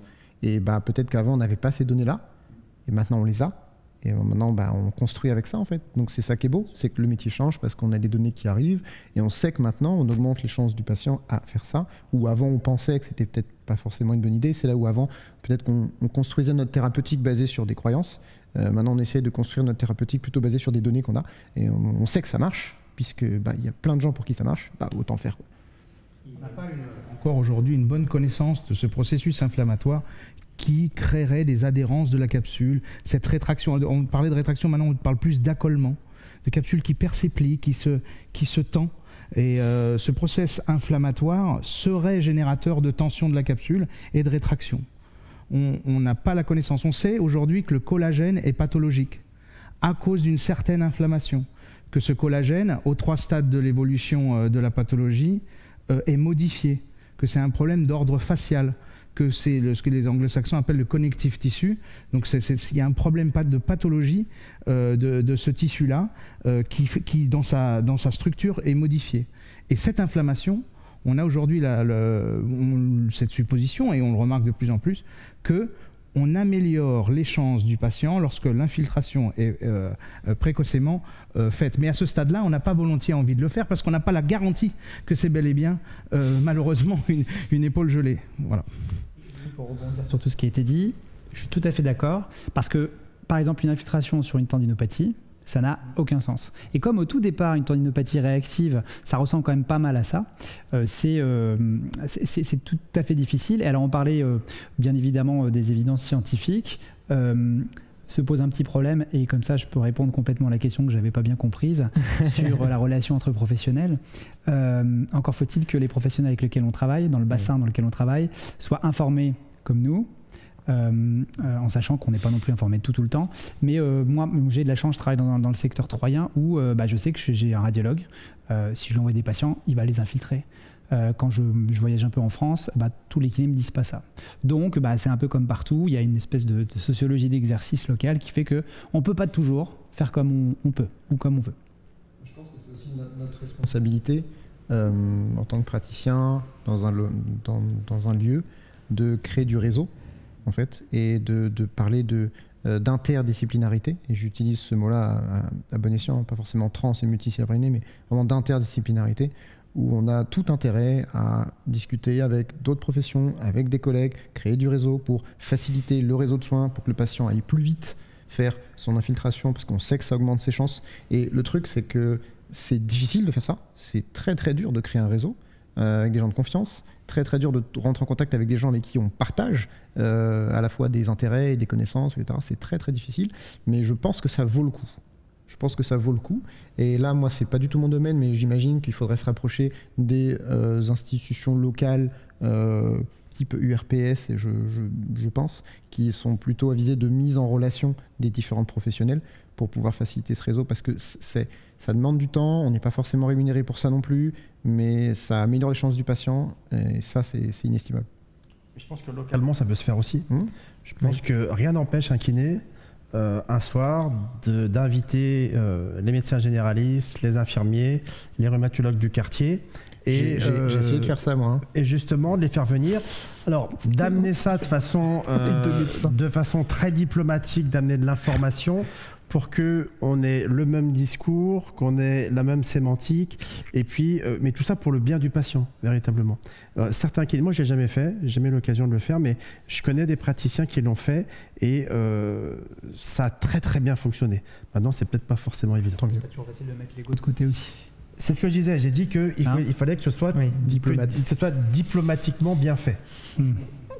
Parce que même des fois, si c'est très très bien fait, force est de reconnaître ça passe quand même pas. C'est peut-être pour ça que je ne l'ai pas fait d'ailleurs. Eh bien, en plus de nous poser vos questions, si vous avez euh, des bonnes idées à, nous donner, on les prend bien évidemment. Continuez à, poser vos, questions. En préparation euh, d'émission, Jean-Michel, parce que je salue d'ailleurs le travail euh, que vous faites en préparation de, ces émissions et je vous en remercie d'ailleurs. On a parlé un petit peu du profil psychologique et de cette interrogation. Certains profils psychologiques peuvent avoir une incidence ou, quelque chose d'intimement lié. Euh, qu'est-ce que vous, vous en pensez déjà avant de donner la parole à, Mathieu par rapport à ça?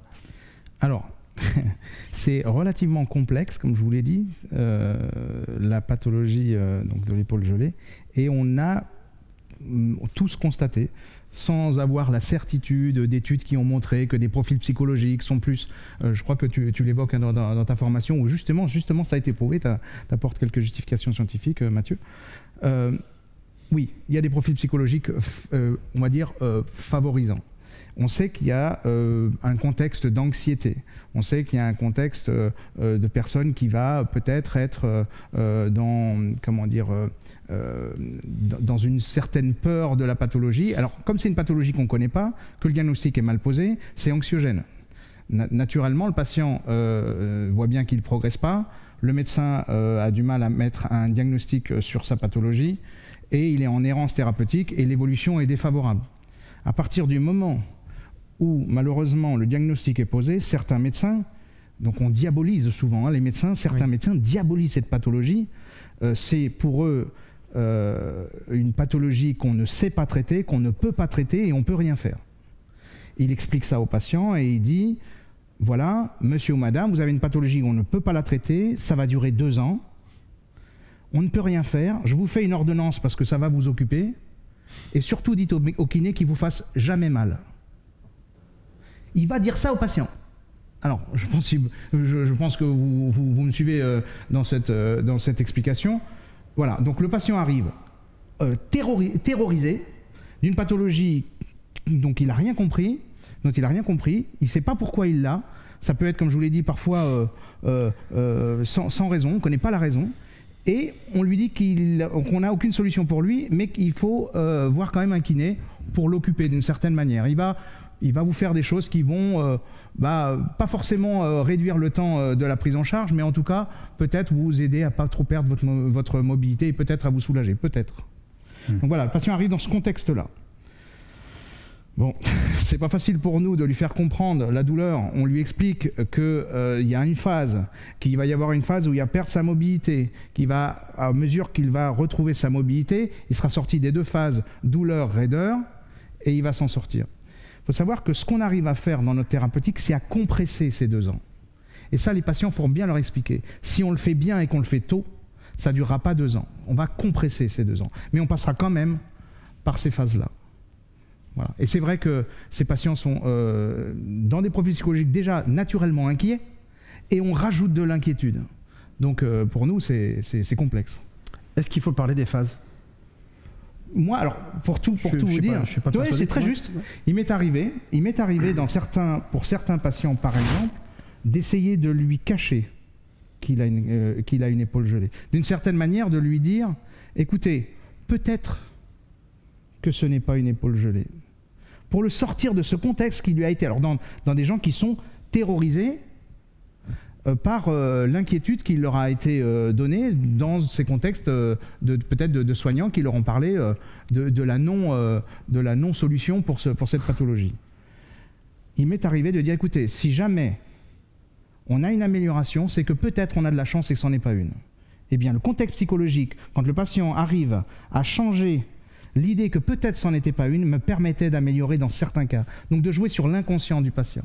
Donc là, on est dans un contexte un petit peu euh, en marge, mais ça m'est arrivé quand je voyais qu'on on était dans, un, dans une impasse et que le psychologique était un gros frein à l'évolution. Il n'y a pas de consensus sur les phases? Oui. Donc finalement, certains disent qu'il n'y en a pas, d'autres qui disent qu'il y en a une, deux, trois, quatre. Moi, je me rappelle quand j'étais étudiant, on me disait qu'il y avait trois phases, que ça durait 18 mois. Et finalement, je pense que le fait de parler aux, patients euh, de phases, il va googliser. Ça lui met la pression. S'il googlise, il va trouver les phases et il va se dire je vais, enfin, il va se conditionner à être dans ces phases-là. Donc finalement, j'ai tendance à suivre les conseils de mon ami Mathieu Loubière. qui lui va parler d'irritabilité dans un premier temps, de raideur dans un deuxième temps, en restant un petit peu vague, mais en donnant une, des, options d'amélioration qui ne sont pas prédéfinies mm. et qui ne vont pas forcément conditionner le patient. Alors pour le coup, je suis assez en accord avec moi-même sur ça. Euh, non, pour revenir sur ces questions-là, c'est assez délicat parce que euh, je ne suis pas complètement d'accord avec euh, euh, ce qui a été dit au niveau du, profil psychologique. par où prendre le bout? Alors, je vais commencer juste par un tout petit rappel historique. on tient de Codeman, hein, c'est les années 30, une espèce d'idée qu'il y avait une population de douloureux d'épaule qui ne faisait pas d'efforts, qui étaient des feignasses, qui avaient mal et qui ne voulaient pas s'en sortir. Ça, ça date de cette époque-là. Et en fait, ça a traîné pendant des années et est arrivé le moment où on a commencé à, penser qu'effectivement, il y avait un profil psychologique. J'ai trois, études en tête, dont une dernière qui a été très bien menée.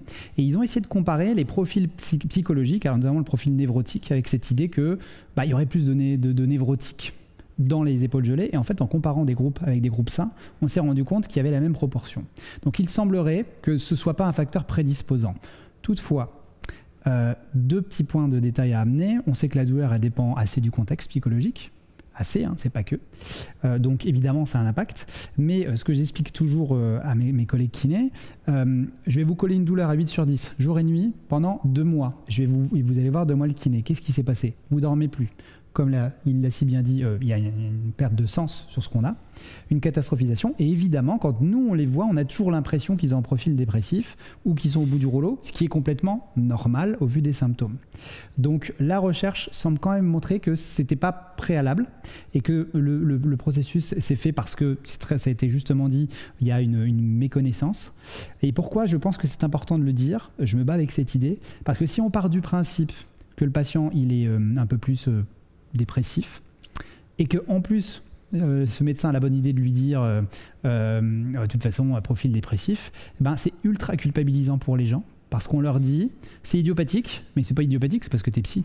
Et ça c'est très dur à vivre pour les patients, très très dur. C'est un frein à la progression. Et en plus, si on se plante, c'est je trouve ça dramatique d'un point de vue éthique d'être là-dedans. Donc c'est un sujet très complexe, la pose de diagnostic. Parfois poser une étiquette, ça nous aide, mais parfois ça nous enferme aussi. Donc euh, c'est vraiment compliqué de répondre à cette question. Mon point de vue, si je dois trancher, c'est qu'il n'y a pas de profil psychologique. Par contre, forcément, tous les patients avec cette douleur qui est obsédante, eh ben, ils vont finir par se taper la tête contre les murs de dépression. Il y en a qui sont tellement euh, traumatisés, Fabrice, qui ont besoin d'un suivi psychologique en, plus de, votre suivi euh, kiné, qui essaie de, vraiment d'avoir un, accès et un traitement direct sur la douleur, sur la pathologie. Il y en a qui ont besoin en plus à côté, tellement ils ont été loin, tellement ils ont été euh, finalement euh, dans cet état dépressif, d'avoir un vrai suivi pour aussi sortir de, cette torpeur et quelque chose qui est quand même hyper traumatisant de dire euh, tu as une pathologie mais ça évoluera jamais et tu es condamné à être obligé de vivre avec J'aurais tendance à dire ni plus ni moins que sur une autre pathologie à douleur égale. En fait, je dirais qu'on peut voir le problème un petit peu différemment de ce qu'a dit Mathieu. Si vous avez un profil psychologique particulier et j'irais plutôt sur un profil anxieux, sur un profil... Euh, euh, vous avez peut-être euh, davantage de risques d'avoir un profil douloureux. Mais pas, c'est pas spécifique forcément à l'épaule. Par contre, c'est vrai que c'est une pathologie qui peut être tellement douloureuse et tellement invalidante. Et puis en plus, il y a cette, ce problème du sommeil qui est un vrai problème. Euh, que finalement, euh, je dirais qu'on peut avoir des problèmes psychologiques réactionnels qui pourraient éventuellement euh, amener à une consultation chez un psychologue, mais pas plus l'épaule gelée finalement qu'une autre pathologie à douleur égale. Le sommeil, vous venez de, de, dire, Guillaume, le sommeil, il y a quelque chose qui peut s'en rapprocher, c'est l'hypnose. Est-ce que ça peut être un, un bon moyen euh, d'aborder un petit peu différemment cette approche, ce traitement de l'épaule gelée? Alors déjà, euh, je tiens à préciser que moi je ne suis pas spécialiste de l'hypnose. C'est pour ça que j'aimerais d'abord m'en sortir avec une petite pirouette en revenant euh, deux minutes, si vous me le permettez, sur ces, notions de facteurs psychologiques, où je suis assez en, accord avec ce que disait Mathieu, surtout dans le sens où on a tendance à stigmatiser mm. à la fois les patients qui ont ces émotions, qui sont normales, en fait. On a tendance à pathologiser des réactions qui sont normales, donc on les stigmatise, et ça a tendance, à mon sens, un peu trop à servir de porte de sortie à des praticiens qui ont peut-être des difficultés avec l'incertitude. Comme on a du mal à expliquer ce que c'est, comme on a du mal à comprendre ce que c'est, on a du mal à comprendre comment est-ce que ça évolue, on essaie de se raccrocher à quelque chose. Et on essaie de se raccrocher à tout ce qui passe, et ce qu'on voit potentiellement, c'est un patient inquiet, parce que, bah, comme l'a dit Mathieu, il a mal depuis deux mois, 8 sur 10, il dort plus. Et donc j'ai pas oublié la question, je vais y revenir. Il n'y a pas de problème. Euh, donc forcément, va y avoir des impacts à la fois dans son homéostasie hormonale, parce qu'on sait que le sommeil, ça aide à réguler plein de phénomènes. Euh, donc il va y avoir plein de choses qui vont se passer euh, dans l'homéostasie hormonale du patient, qui vont avoir un impact sur sa psyché. Et j'ai vraiment du mal à me dire que on va labelliser un patient très vulgairement dit psy, parce que pour moi, c'est une porte de sortie. Une porte de sortie qui évite tout raisonnement clinique, qui évite toute évaluation approfondie. Euh, Jean-Michel parlait tout à l'heure d'examen construit. Euh, le fait d'avoir une étiquette à poser sur le patient psy bah, fait qu'on a tendance à se décharger de ça. Alors que, en fait, tout ça peut coexister. Un patient peut tout à fait avoir des facteurs euh, psychologiques en comorbidité dite mentale associés à des facteurs biologiques, en fait.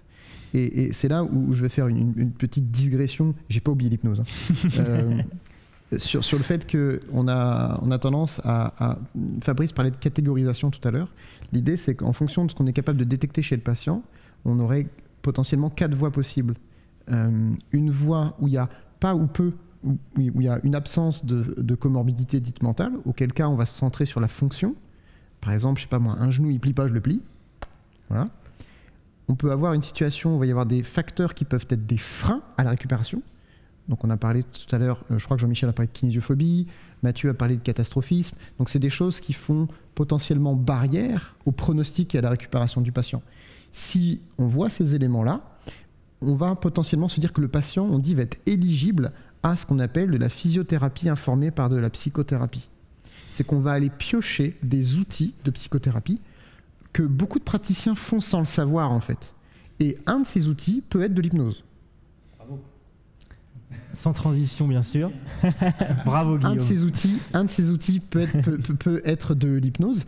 Euh, là où moi, du coup, je ne suis pas professionnel d'hypnose, euh, j'ai quelques notions parce que j'échange avec des collègues, et, etc. Je sais que c'est un état de conscience modifié.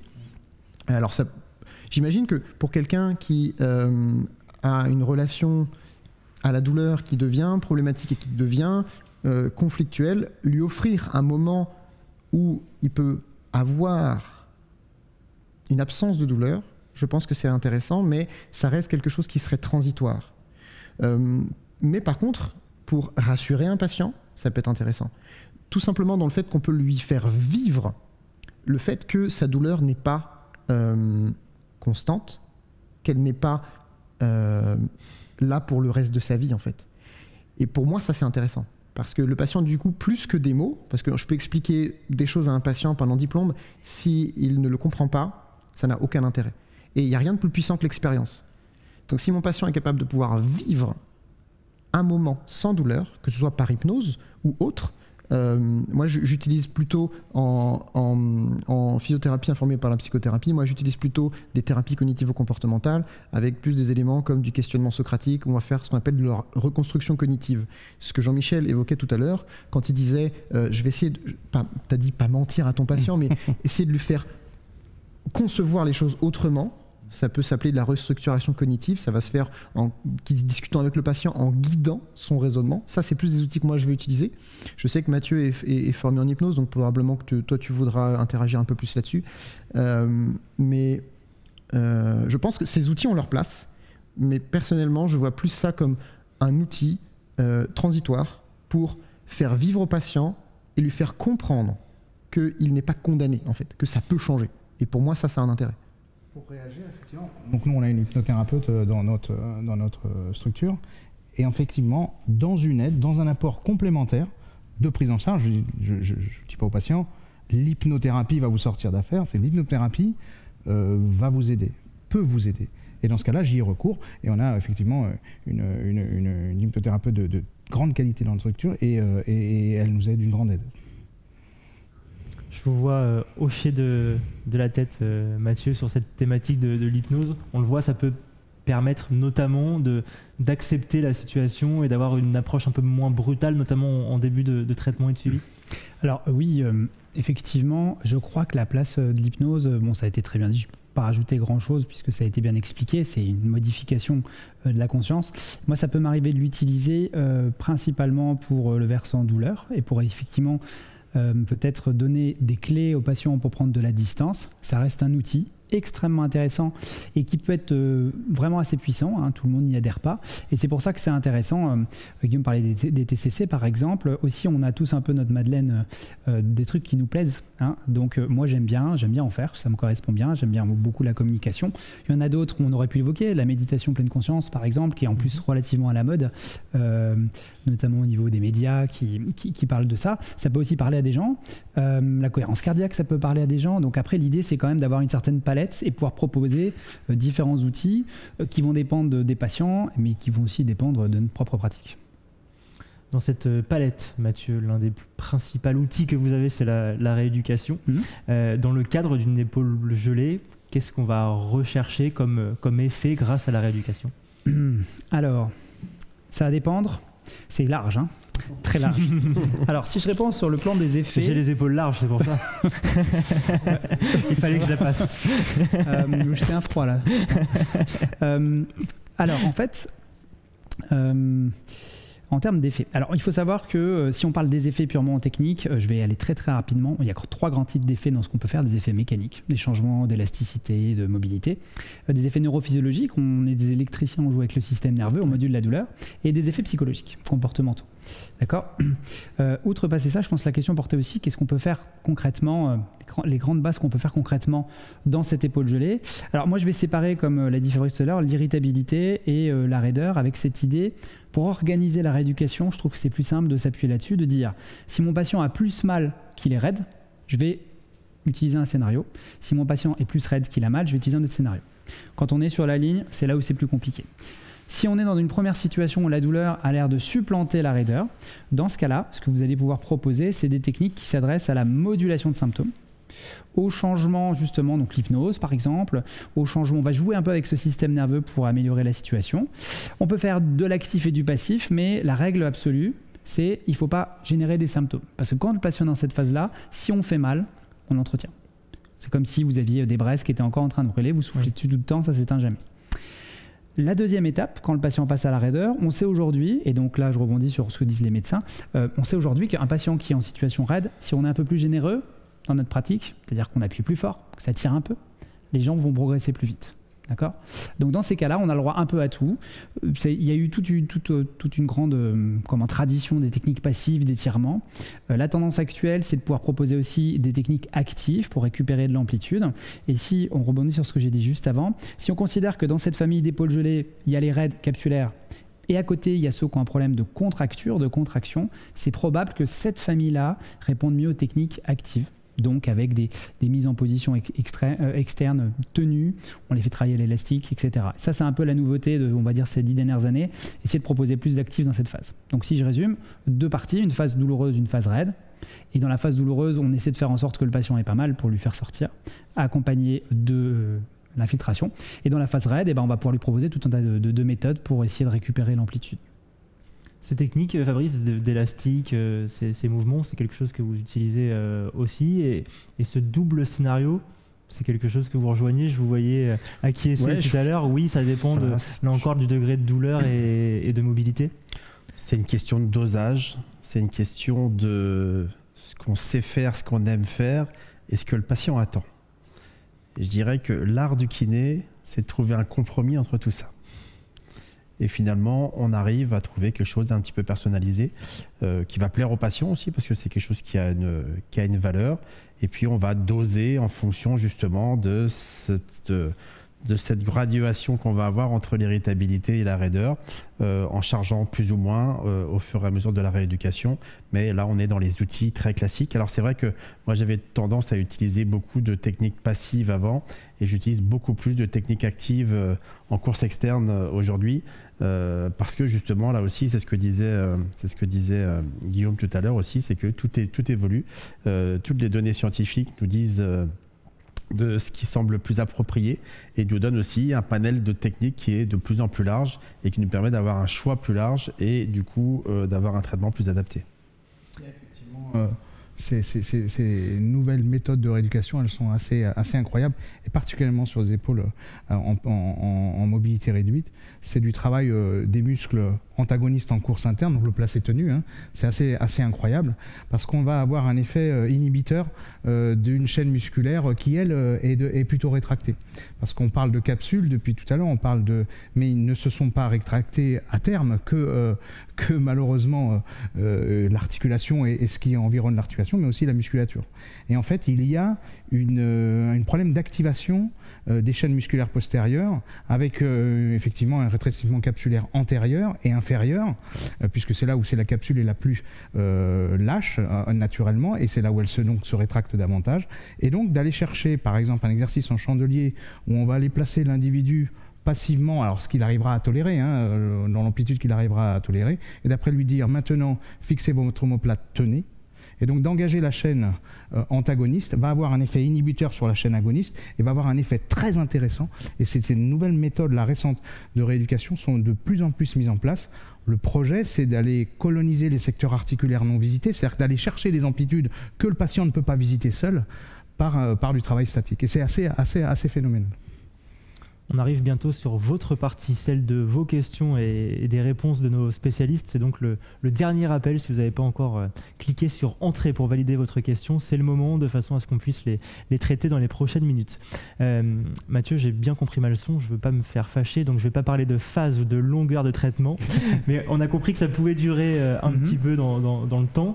donc vous voyez ces patients régulièrement, en tous les cas sur un laps de temps assez, assez important quelle est la fréquence euh, moyenne Parce que je me doute que là encore, vous allez pouvoir me répondre, ça va dépendre du patient, de la pathologie, etc. Mais sur une épaule gelée, vous les voyez souvent, ces patients?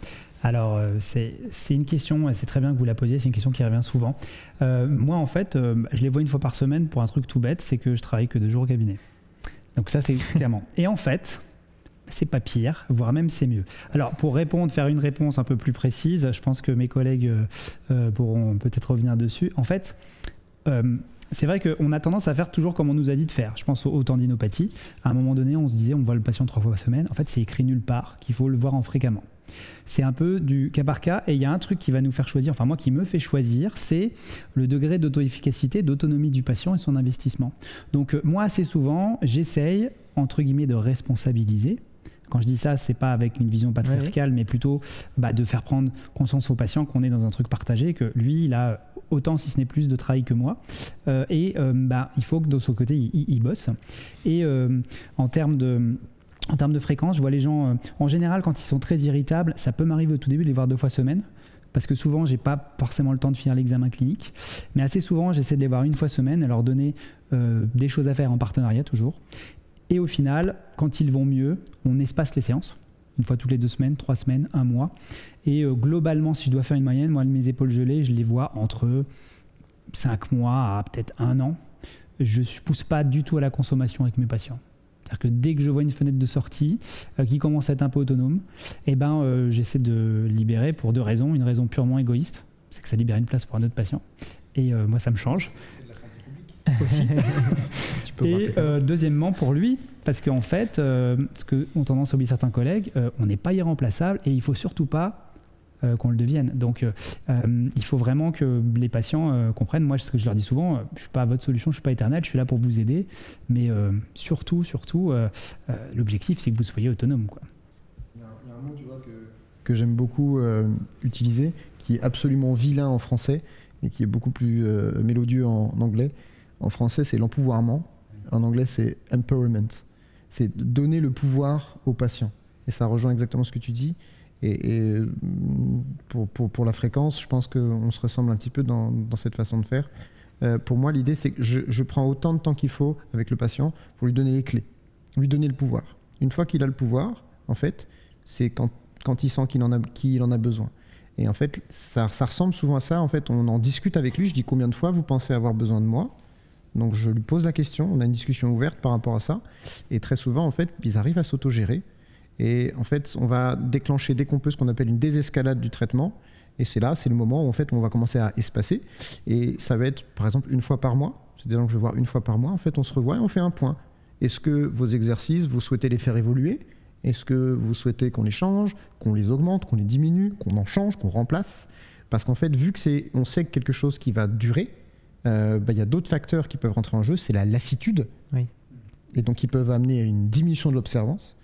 Et euh, cette lassitude bah, peut être diminuée par, euh, par exemple, voilà, on fait, et, on sait que de manière générale, pour j'ai d'autres pathologies en tête, mais on sait que pour d'autres pathologies, faire des sessions booster, ça s'appelle, faire des sessions booster, ça augmente en fait l'observance du patient. On sait que même si on le voit moins, et eh ben lui va quand même continuer à garder le pouvoir et quand même continuer son traitement en faisant des sessions booster. Et donc ça peut être pertinent. En tout cas, moi, c'est comme ça que j'ai tendance à faire. Sur le premier mois, je les vois peut-être une à deux fois par semaine pour leur donner des clés. Une fois qu'ils les ont, on commence à espacer. On voit si ça tient. C'est comme si je faisais un, château de cartes. Je souffle un peu, je vois si ça, si ça tient ou si ça se casse la gueule. Et, si ça tient, bah go, en fait. Et après, on se voit de temps en temps, une fois par mois ou une fois tous les deux mois, pour euh, réévaluer si besoin avec le patient. Et c'est vraiment à, son, à sa guise, en fait. Il y a des patients que vous arriverez à, stimuler, à motiver dans, l'application de ces routines hein, d'exercice. c'est ces patients que vous allez donner, à qui vous allez donner des objectifs aussi. C'est-à-dire que vous avez des critères de suivi d'évolution, hein, que sont les critères de mobilité, euh, euh, ne serait-ce que son EVA, sa douleur. Et on va voir euh, progressivement euh, donc, euh, ce patient évoluer sur certains de ces critères de suivi. et ça peut, pour certains patients, être un facteur de, justement de motivation. Et moi, j'ai recours à ces, à ces, critères et je, je, leur dis, écoutez, on va continuer cette routine, on la modifiera quand on se reverra dans deux mois, dans six. En général, j'ai des cycles de six semaines, six, huit semaines on va se revoir, vous l'appliquez quand on est au stade de l'entretien et qu'on est en fin de rééducation, on est bien d'accord. Hein. Euh, et euh, je dis, on va se revoir, on va suivre les critères de suivi, on va voir vos évolutions à vous seul et quand vous travaillez en autonomie. Si on a des critères de suivi qui nous montrent une progression euh, difficile, eh bien, on, on, se reverra et on réaccélère le processus. Je le revois euh, un petit peu plus. Si les critères de suivi sont très favorables, que le patient me dit bah, écoutez, mais je vais plutôt bien et j'arrive bien à entretenir, ne leur reviennent pas, euh, je suis euh, confortable, je peux avoir l'activité qui, me va bien, eh ben, je ne l'embête pas, je dis bah, à dans six semaines. L'objectif, on l'a entendu avec, euh, avec Guillaume aussi, c'est cet accompagnement, c'est de dire moi j'ai ma part dans, le suivi et dans l'amélioration de votre situation, mais vous aussi vous l'avez. Euh, Mathieu, est-ce que les exercices c'est les mêmes, ceux qui font chez vous, euh, que ceux qui font chez eux? On parlait de, de, clés, on leur donne des clés, on leur donne un petit peu le, ben, finalement leur, leur thérapie aussi à, eux et, ces clés-là. Est-ce que vous leur faites faire la même chose en individuel mmh. chez eux que ce qu'ils font chez vous ou pas totalement quand même? Alors, si vous voulez bien, là, on peut justement parler de l'observance. C'est intéressant de se poser la question qu'est-ce qui va faire que nos patients vont adhérer ou pas au programme d'exercice? Et un des critères qui me paraît primordial, c'est qu'il est expérimenté et que ça fasse sens. Donc, assez souvent, moi, je vais m'appuyer sur ce qu'on a fait, pas. Euh, de façon prescriptive, c'est-à-dire c'est assez rare que euh, j'impose un exercice, mais souvent ce que je vais faire, c'est voilà, on a fait un certain nombre d'exercices pendant la séance. Qu'est-ce qui vous a plu? Voilà, et pourquoi celui-ci vous a plu? Ou alors même les guider un peu plus. Voilà, moi j'aimerais bien euh, que travailler plutôt cette région-là, euh, sur les exercices qu'on a fait, lequel vous chauffe le plus cette zone-là qui vous a trouvé le plus confortable. Et je crois qu'en faisant comme ça, on améliore quand même drastiquement euh, l'adhérence et surtout on le fait participer. les prises en charge actuelles, on essaie absolument, je veux dire, ça a été vraiment très bien dit en auto-efficacité, empowerment, autonomie, rendre autonomie, hein. éduquer quelqu'un à la santé, c'est le rendre autonome et lui donner les clés effectivement de son destin de santé. Et donc tout ce qu'on va pouvoir faire pour le faire participer, faire prendre position sur sa thérapeutique.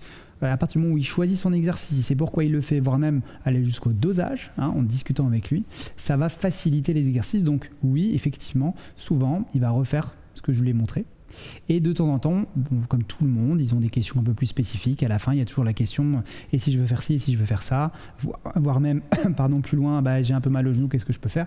On guide aussi là, dans ces cas-là, sur ces éléments-là. Donc, assez souvent, il y a ce suivi. Par contre, effectivement, quand même, ça reste euh, primordial, et ça en musculo-squelettique, on sait que. Euh, quand même que globalement, le patient, s'il travaille à la maison, ça progresse plus vite, ça progresse mieux, ça tient plus longtemps, euh, clairement, et ça limite un peu la récidive.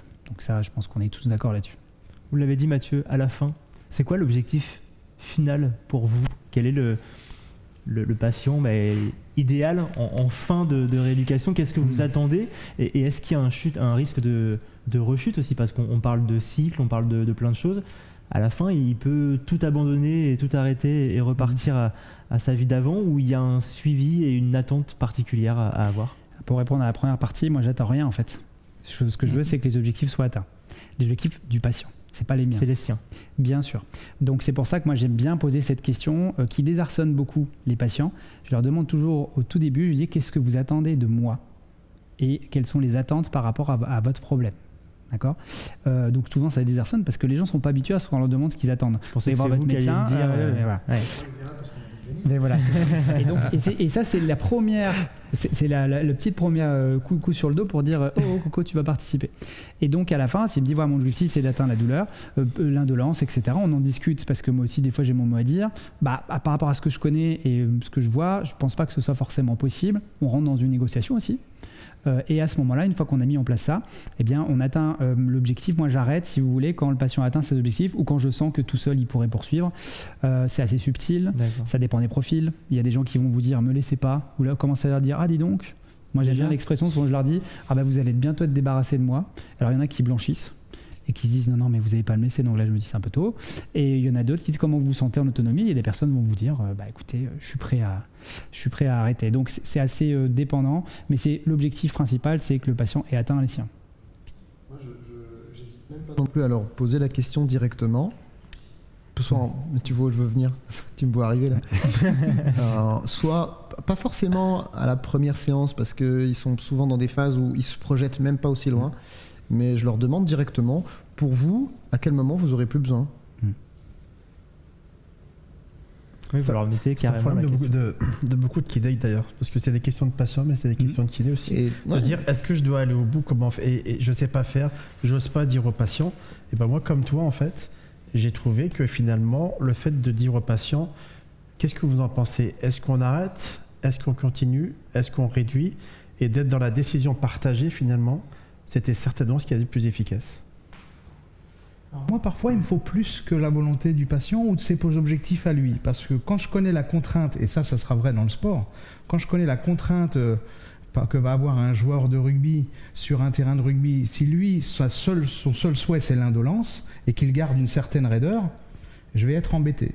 Mon ambition à moi, c'est celle de lui restituer l'épaule la plus normale possible dans son fonctionnement, pour qu'elle soit la mieux tolérante à certaines contraintes. Et plus je connais la contrainte et la tâche du sport, et plus je serai exigeant. Parce que le patient, effectivement, son ambition première, c'est volontiers la douleur, d'être confortable pour son quotidien. Or, combien de fois on voit des sportifs reprendre, quel que soit leur niveau, parfois des sports dangereux, à risque, avec juste une indolence et une fonction normale dans les amplitudes chez le kiné, et de dire, bon voilà, à partir de maintenant, je peux reprendre un match de rugby? Non, personnellement, j'ai jamais vu de rugbyman avec des épaules gelées. Ça m'est arrivé. Ok. Ça m'est arrivé. Alors là, effectivement, C'est une épaule conflictuelle. Alors, comme toi, dans ce genre, c'était un joueur dans de rugby. cas-là, dans ce cas-là, effectivement, je pense que tu peux augmenter, mais peut-être même voir, peut-être rediscuter des attentes du patient, c'est-à-dire à quel point est-ce qu'il pourra retourner sur le terrain, retourner au sport, tu vois. Je pense que c'est même, est-ce que c'est même envisageable pour ce patient-là Il m'est arrivé d'avoir un joueur, donc pour raconter l'histoire de, de ce joueur, joueur de rugby, euh, donc joueur de rugby à 13, hein, au Dragon catalan, il se reconnaîtra s'il regarde. Ce joueur, euh, une évolution défavorable, avec euh, donc, au départ euh, une, douleur de coiffe liée à un traumatisme d'écrasement en hyper, en hyper antépulsion du bras. Bon, il marque l'essai pour son équipe, tout le monde l'applaudit, sauf que lui il revient, il se place, il me dit j'ai très mal à l'épaule. Le, médecin l'évalue, il doit sortir. Il s'est fait un écrasement en, en- en mouvement maximal de l'épaule de sa coiffe de rotateur. L'évolution est relativement classique au début, sauf que on piétine, on s'en sort pas. Il se fait opérer. Il se fait opérer parce qu'il se fait une subluxation à ce moment-là de l'épaule et il avait déjà une épaule instable, donc opération. Il nous a fallu un an pour le remettre sur le terrain, donc euh, dans un joueur de rugby professionnel, une évolution euh, tout, à fait, tout à fait malheureusement défavorable et une épaule gelée avérée. Et euh, donc ce joueur, son ambition à lui, c'était de refaire du développé couché et d'être fort. Je lui dis, il faut que tu le sois, mais pas au développé couché. Il faut que tu sois très fort de tes chaînes postérieures parce que tu as un gros déséquilibre musculaire qui a été générateur de ton instabilité, et c'est pour ça que tu t'es fait le traumatisme, il faut que tu retrouves une mobilité complète avec une tolérance dans les mouvements en d'amplitude complet avant de reprendre. Parce que lui, quand il était devenu indolore et avec sa fin de reprendre l'activité, la première chose qu'il m'a dit, c'est Jean-Mi, je reprends. Et, et l'entraîneur a besoin de moi, et moi je lui ai dit non. Il va falloir que tu retrouves toute ta mobilité, un exercice assez classique en chandelier que je lui faisais, je lui dis écoute c'est simple, quand on y arrivera, tu pourras reprendre à moindre risque. Parce que tu es en danger à même conséquence, à même, on va dire, facteur de risque, dans les mêmes situations à risque, tu es encore en danger. Là, dans ces cas-là, bon, c'est des cas extrêmes, je, vous la- je Non, l'admets. mais hein. c'est tout Non, à non, fait mais ça fait pertinent parce partie qu'en du fait, spectre des Ouais, patients c'est aussi. ça. hein. C'est qu'en fait, là, euh, nous, en fait, on a, je pense qu'on était en train d'évoquer euh, une patientèle plus représentative de l'épaule gelée. Mm. Mais effectivement, de- tu as tout à fait raison de préciser qu'en fonction des populations, il va y Bien avoir sûr. des objectifs plus spécifiques. Et en fait, c'est un très beau cas où, je pense, en plus, c'est un cas assez complexe qui est passé par plusieurs phases. Euh, où, bah, en fonction de la personne, on va, bah, comme on l'a dit, personnaliser, objectiver, enfin, euh, per- personnaliser des soins, avoir des objectifs plus précis. Et Par rapport à des cas par rapport à des, particuliers. à des cas particuliers, Euh, tout à fait. Mais, euh, mais c'est, je pense, un, un- un très bel exemple où là, Mathieu parlait de courbe de Gauss tout à l'heure, Mm. où là, clairement, on est dans un coin Mm. très, très, très, très loin de- Ouais. dans la courbe de Gauss, je pense. Mathieu, on, a- on l'a abordé un petit peu, l'après du coup, ce, ce divorce fait entre votre passion et, et vous, le moment où vous lui dites maintenant c'est vous qui avez les clés, c'est quoi l'après pour lui? C'est réduire les exercices mais pas les arrêter? C'est faire comme si de rien n'était? C'est quoi? On- Ça disparaît jamais l'épaule gelée Là, euh, alors si, déjà. Ça alors, faut savoir que l'épaule gelée guérit toujours. Pour un peu que les gens euh, soient de vivre suffisamment longtemps. C'est toujours euh, euh, ce que je rajoute. Alors, qu'est-ce qu'on fait dans l'après? C'est comme n'importe quel autre patient. Dans l'après, ce qu'on va faire, c'est qu'on va euh, mettre notre casquette euh, de professionnel de santé générale. Il faut savoir que la Fédération internationale de la kiné, au dernier congrès qui s'est tenu à Genève, c'est le dernier, je pense, ou le dernier, euh, il y a eu euh, l'OMS qui est venu et il y a eu un- une conférence, je crois que c'était l'OMS, qui disait qu'il faut, euh, il faut être proactif sur les conseils qu'on peut donner. On voit les patients euh, souvent. Donc là, je vais encore remettre une couche. Euh, il faut pratiquer un exercice régulier. Régulier, les, il y a le chiffre, les chiffres sont très clairs 150 minutes à 180 minutes d'effort modéré, plus de séances de renforcement par semaine, euh, c'est la base. Donc, est-ce qu'ils doivent continuer? Euh, bah, S'ils ne faisaient pas d'activité, moi j'en profite pour leur dire vous savez, pour votre santé, c'est bon d'en faire, etc. Euh, ça, c'est la première chose. Évidemment, on a aussi une casquette pour dire essayez de dormir plus, essayez de mieux manger. Et euh, le dernier truc, santé. Moins de toxiques. Ouais, enfin, en gros, tous les conseils d'hygiène de vie, quoi. Et donc, bien sûr, ça, il faut continuer. Et moi, j'en profite, comme j'ai les gens sous la main un petit peu, pour leur préciser, bah, voyez, c'est la norme qu'on attend un peu, lambda. Euh, voyez comment vous pouvez faire, peut-être aller au boulot en marchant, etc. Pour ce qui est spécifique à l'épaule gelée, normalement, on n'en refait pas sur le même côté. Il y a 20% des patients qui refont l'autre. Mais une fois qu'on l'a fait une fois à droite, une fois à gauche, j'ai jamais vu quelqu'un qui faisait deux fois euh, sur la même. Bah voilà, après il n'y a plus d'épaule. Après c'est la cheville, le genou. Mais bon, les épaules normalement c'est fait. Donc on n'en refait pas. Et du coup, il y a pas, je peux pas vous dire, il y a des trucs qui, qui vont prévenir la récidive, puisqu'il n'y a pas de récidive du même côté. Ça arrive jamais. On rappelle que la formation épaule gelée est déjà en ligne, que Tout vous avez fait. des confrères qui sont de l'autre côté de, de l'écran.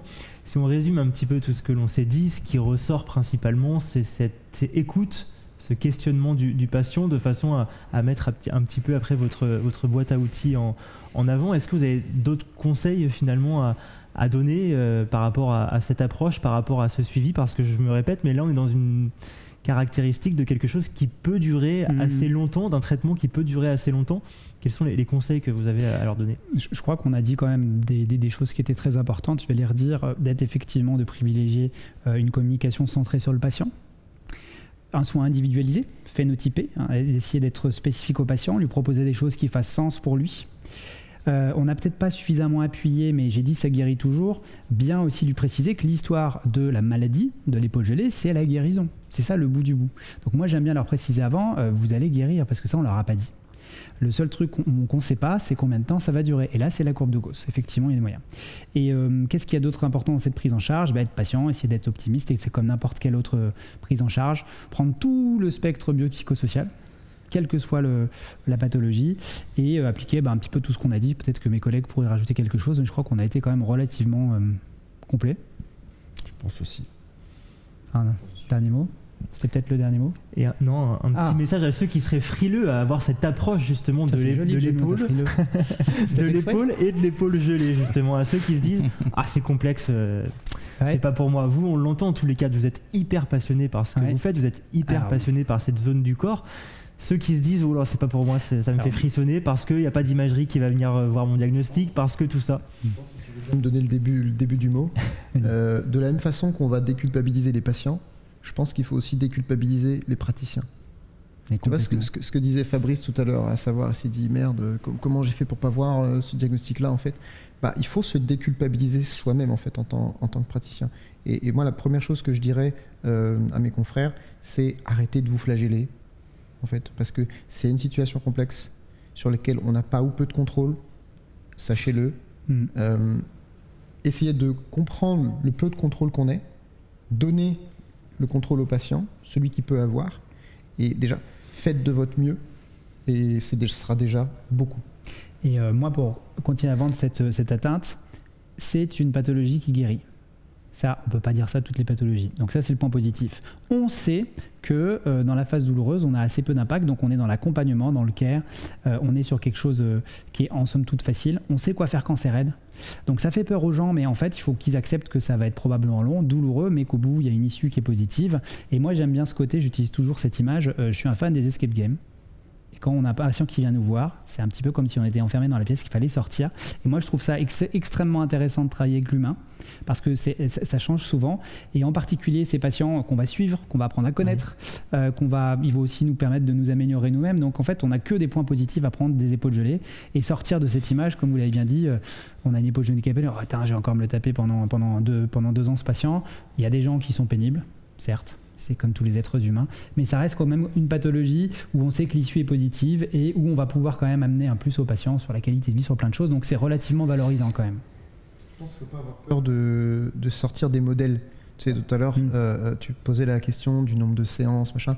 Peut-être que euh, on s'inscrit dans une espèce de continuité de bah, ces patients-là, comme si on devait donner les mêmes nombres de séances à tous nos patients.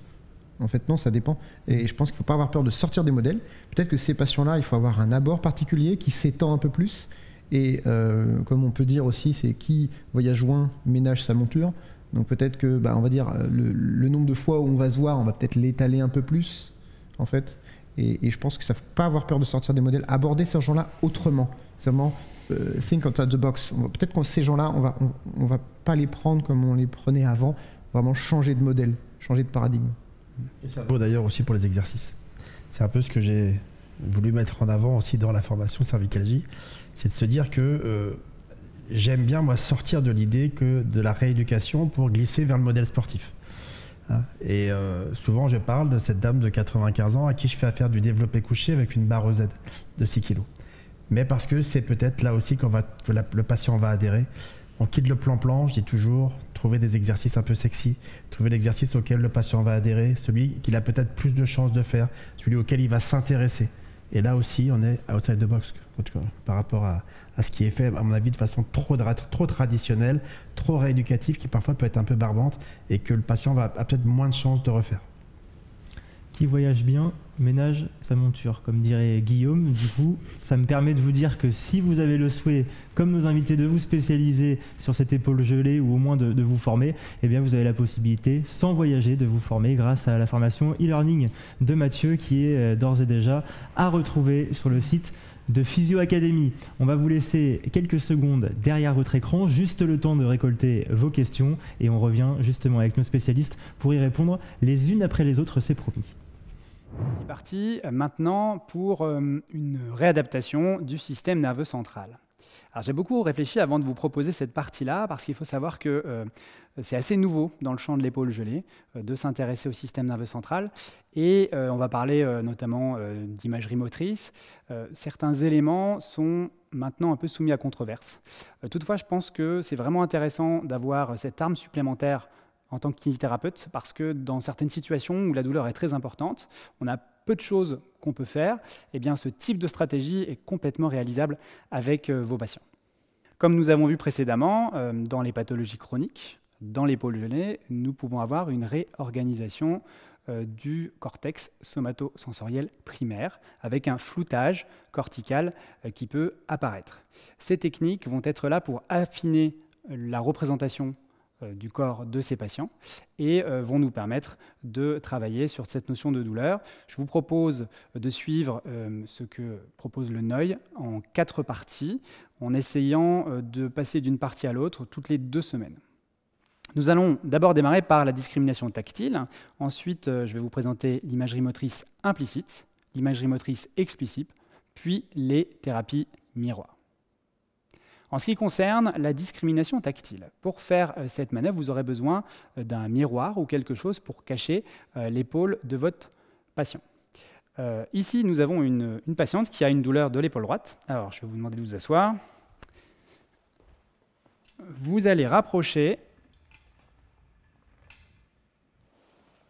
un miroir ou un élément, l'objectif étant de venir cacher le côté qui est douloureux.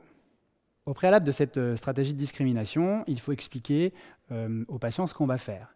En fait, ce qu'on va faire, c'est qu'on va essayer d'améliorer euh, sa sensibilité pour justement limiter le côté floutage cortical. Donc moi, j'explique simplement qu'aux patients, du fait de leur douleur et de leur non-utilisation, ils ont une représentation de l'épaule qui est un petit peu erronée et que ça se présente comme un espèce de flou au niveau de son cerveau et que par cet exercice, on va affiner ces sensations en affinant les sensations, on améliore les symptômes douloureux. Je vous propose de faire cet exercice pendant une à deux semaines et nous allons voir maintenant les modalités. La première étape consiste à présenter une photographie au patient. L'idéal, c'est de prendre en photo l'épaule du patient et de marquer, par exemple, six régions de façon circulaire. Je vais me placer du côté de l'épaule douloureuse et je vais simplement utiliser un crayon taillé en pointe d'un côté et avec une gomme de l'autre côté. Le principe est le suivant, vous allez vous rapprocher de l'épaule du patient et vous allez venir stimuler certaines zones de son épaule, soit en utilisant la pointe, soit en utilisant la gomme. À chaque fois, vous demandez au patient de vous dire quel est le numéro que vous êtes en train de toucher. Il est proposé dans la littérature de faire des séquences entre 30 et 60 pressions en veillant à ne pas appuyer trop fort pour ne pas générer de symptômes. L'idée étant qu'une fois que vous avez touché une zone, par exemple ici, vous gardiez un temps de 15 secondes avant de toucher la zone suivante. Le principe est donc, je viens appuyer sur la zone 1 par exemple, et euh, bah, il faut que mon, mon patient me dise c'est numéro 1. S'il y a une erreur, on lui signifie, et ensuite on change de région. Dans les études, vous savez, ils utilisent souvent des séquences randomisées pour éviter de toucher toujours dans le même ordre, mais je pense que d'un point de vue clinique, vous pouvez euh, faire des séquences un petit peu aléatoires.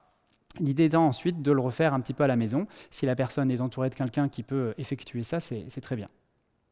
Dans certaines études, il est même proposé euh, de faire de la graphesthésie, c'est-à-dire d'écrire des lettres sur l'épaule des patients et leur demander ensuite de reconnaître une lettre, deux lettres, des combinaisons jusqu'à trois lettres. Le but étant d'améliorer leur reconnaissance discriminatoire du côté de l'épaule qui pose problème.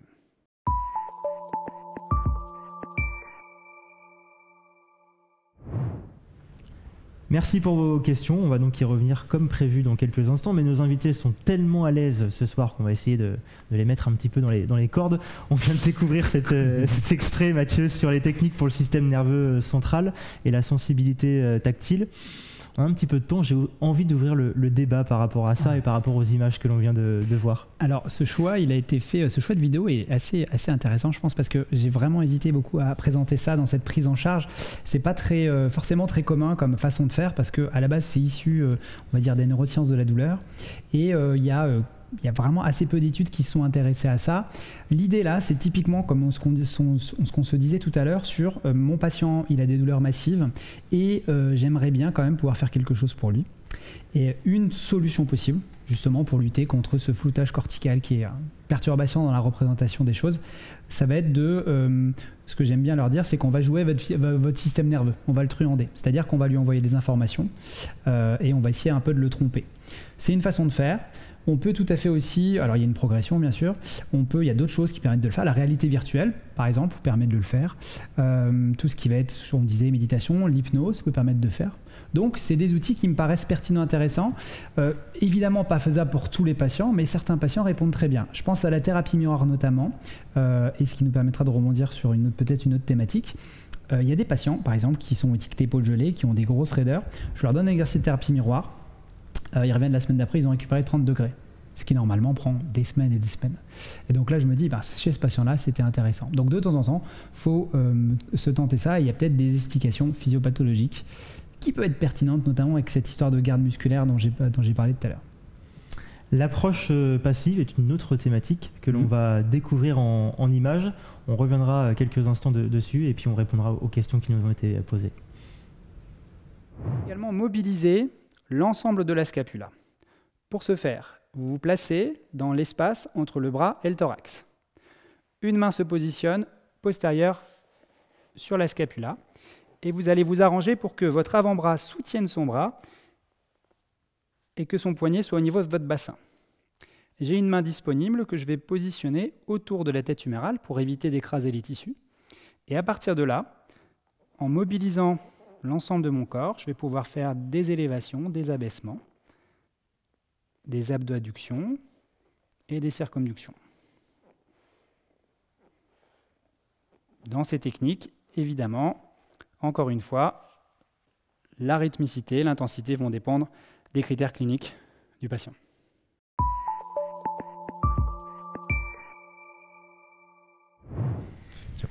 Les techniques passives que l'on vient de découvrir. Et pour rappel, vous avez la possibilité d'aller découvrir cette euh, formation, la formation euh, épaule gelée de Mathieu, euh, qui est déjà en ligne sur Physio Academy. Ces techniques passives, on vient de le voir, elles sont primordiales. Primordial, oui. obligatoire, non. Central, pas forcément, mais quand même. si on est. je vous rappelle qu'on avait parlé de, ces deux dans les On a même le, retour à l'écran en même temps si vous voulez vous appuyer sur les images. Oui éventuellement. Bon, après, euh, effectivement, dans les techniques passives, c'est peut-être pas celle qui est la plus emblématique, mais on pourrait dire que c'en est, une euh, qui est très bien tournée d'ailleurs par les équipes de Physio Academy. Euh, en fait, l'idée, si vous voulez, c'est que comprendre que dans, cette, grand, dans ce grand spectre des pathologies de l'épaule gelée, on a effectivement des personnes qui ont des rétractions, des adhérences capsulaires. Et donc, chez ces patients-là, je pense que ça paraît pertinent d'utiliser le passif. On a dit l'actif peut être utile, mais le passif peut être intéressant. Mais il y a aussi une autre famille la famille de ce qu'on appelait la garde musculaire, de cette protection musculaire. Et euh, chez cette famille-là, à mon humble avis, ce genre de techniques ne sont pas très utiles. Au moment où vous saluez les équipes de Physio Academy, vous terminez votre phrase et la vidéo disparaît. Le hasard fait bien les choses. Comme promis, on va répondre à vos euh, questions. Et il y en a une bah, qui va retrouver un petit peu, un petit, peu celle-ci. Et j'ai envie de me tourner, pourquoi pas, vers Guillaume. La garde musculaire, on, l'a entendu euh, tout à l'heure. Qu'est-ce que vous avez à, compléter sur cette garde musculaire? Bah, C'est un, phénomène extrêmement intéressant qu'on peut observer et qui fait le lien, je pense, entre la clinique, ce qu'on observe, et ce qu'on comprend actuellement euh, du phénomène douloureux qui peut être en jeu dans le symptôme du patient. À savoir que techniquement, on est juste un système nerveux dans un vaisseau de chair. Notre système nerveux est celui qui va commander. Et probablement que ces réponses musculaires qu'on observe est une demande du cerveau pour protéger.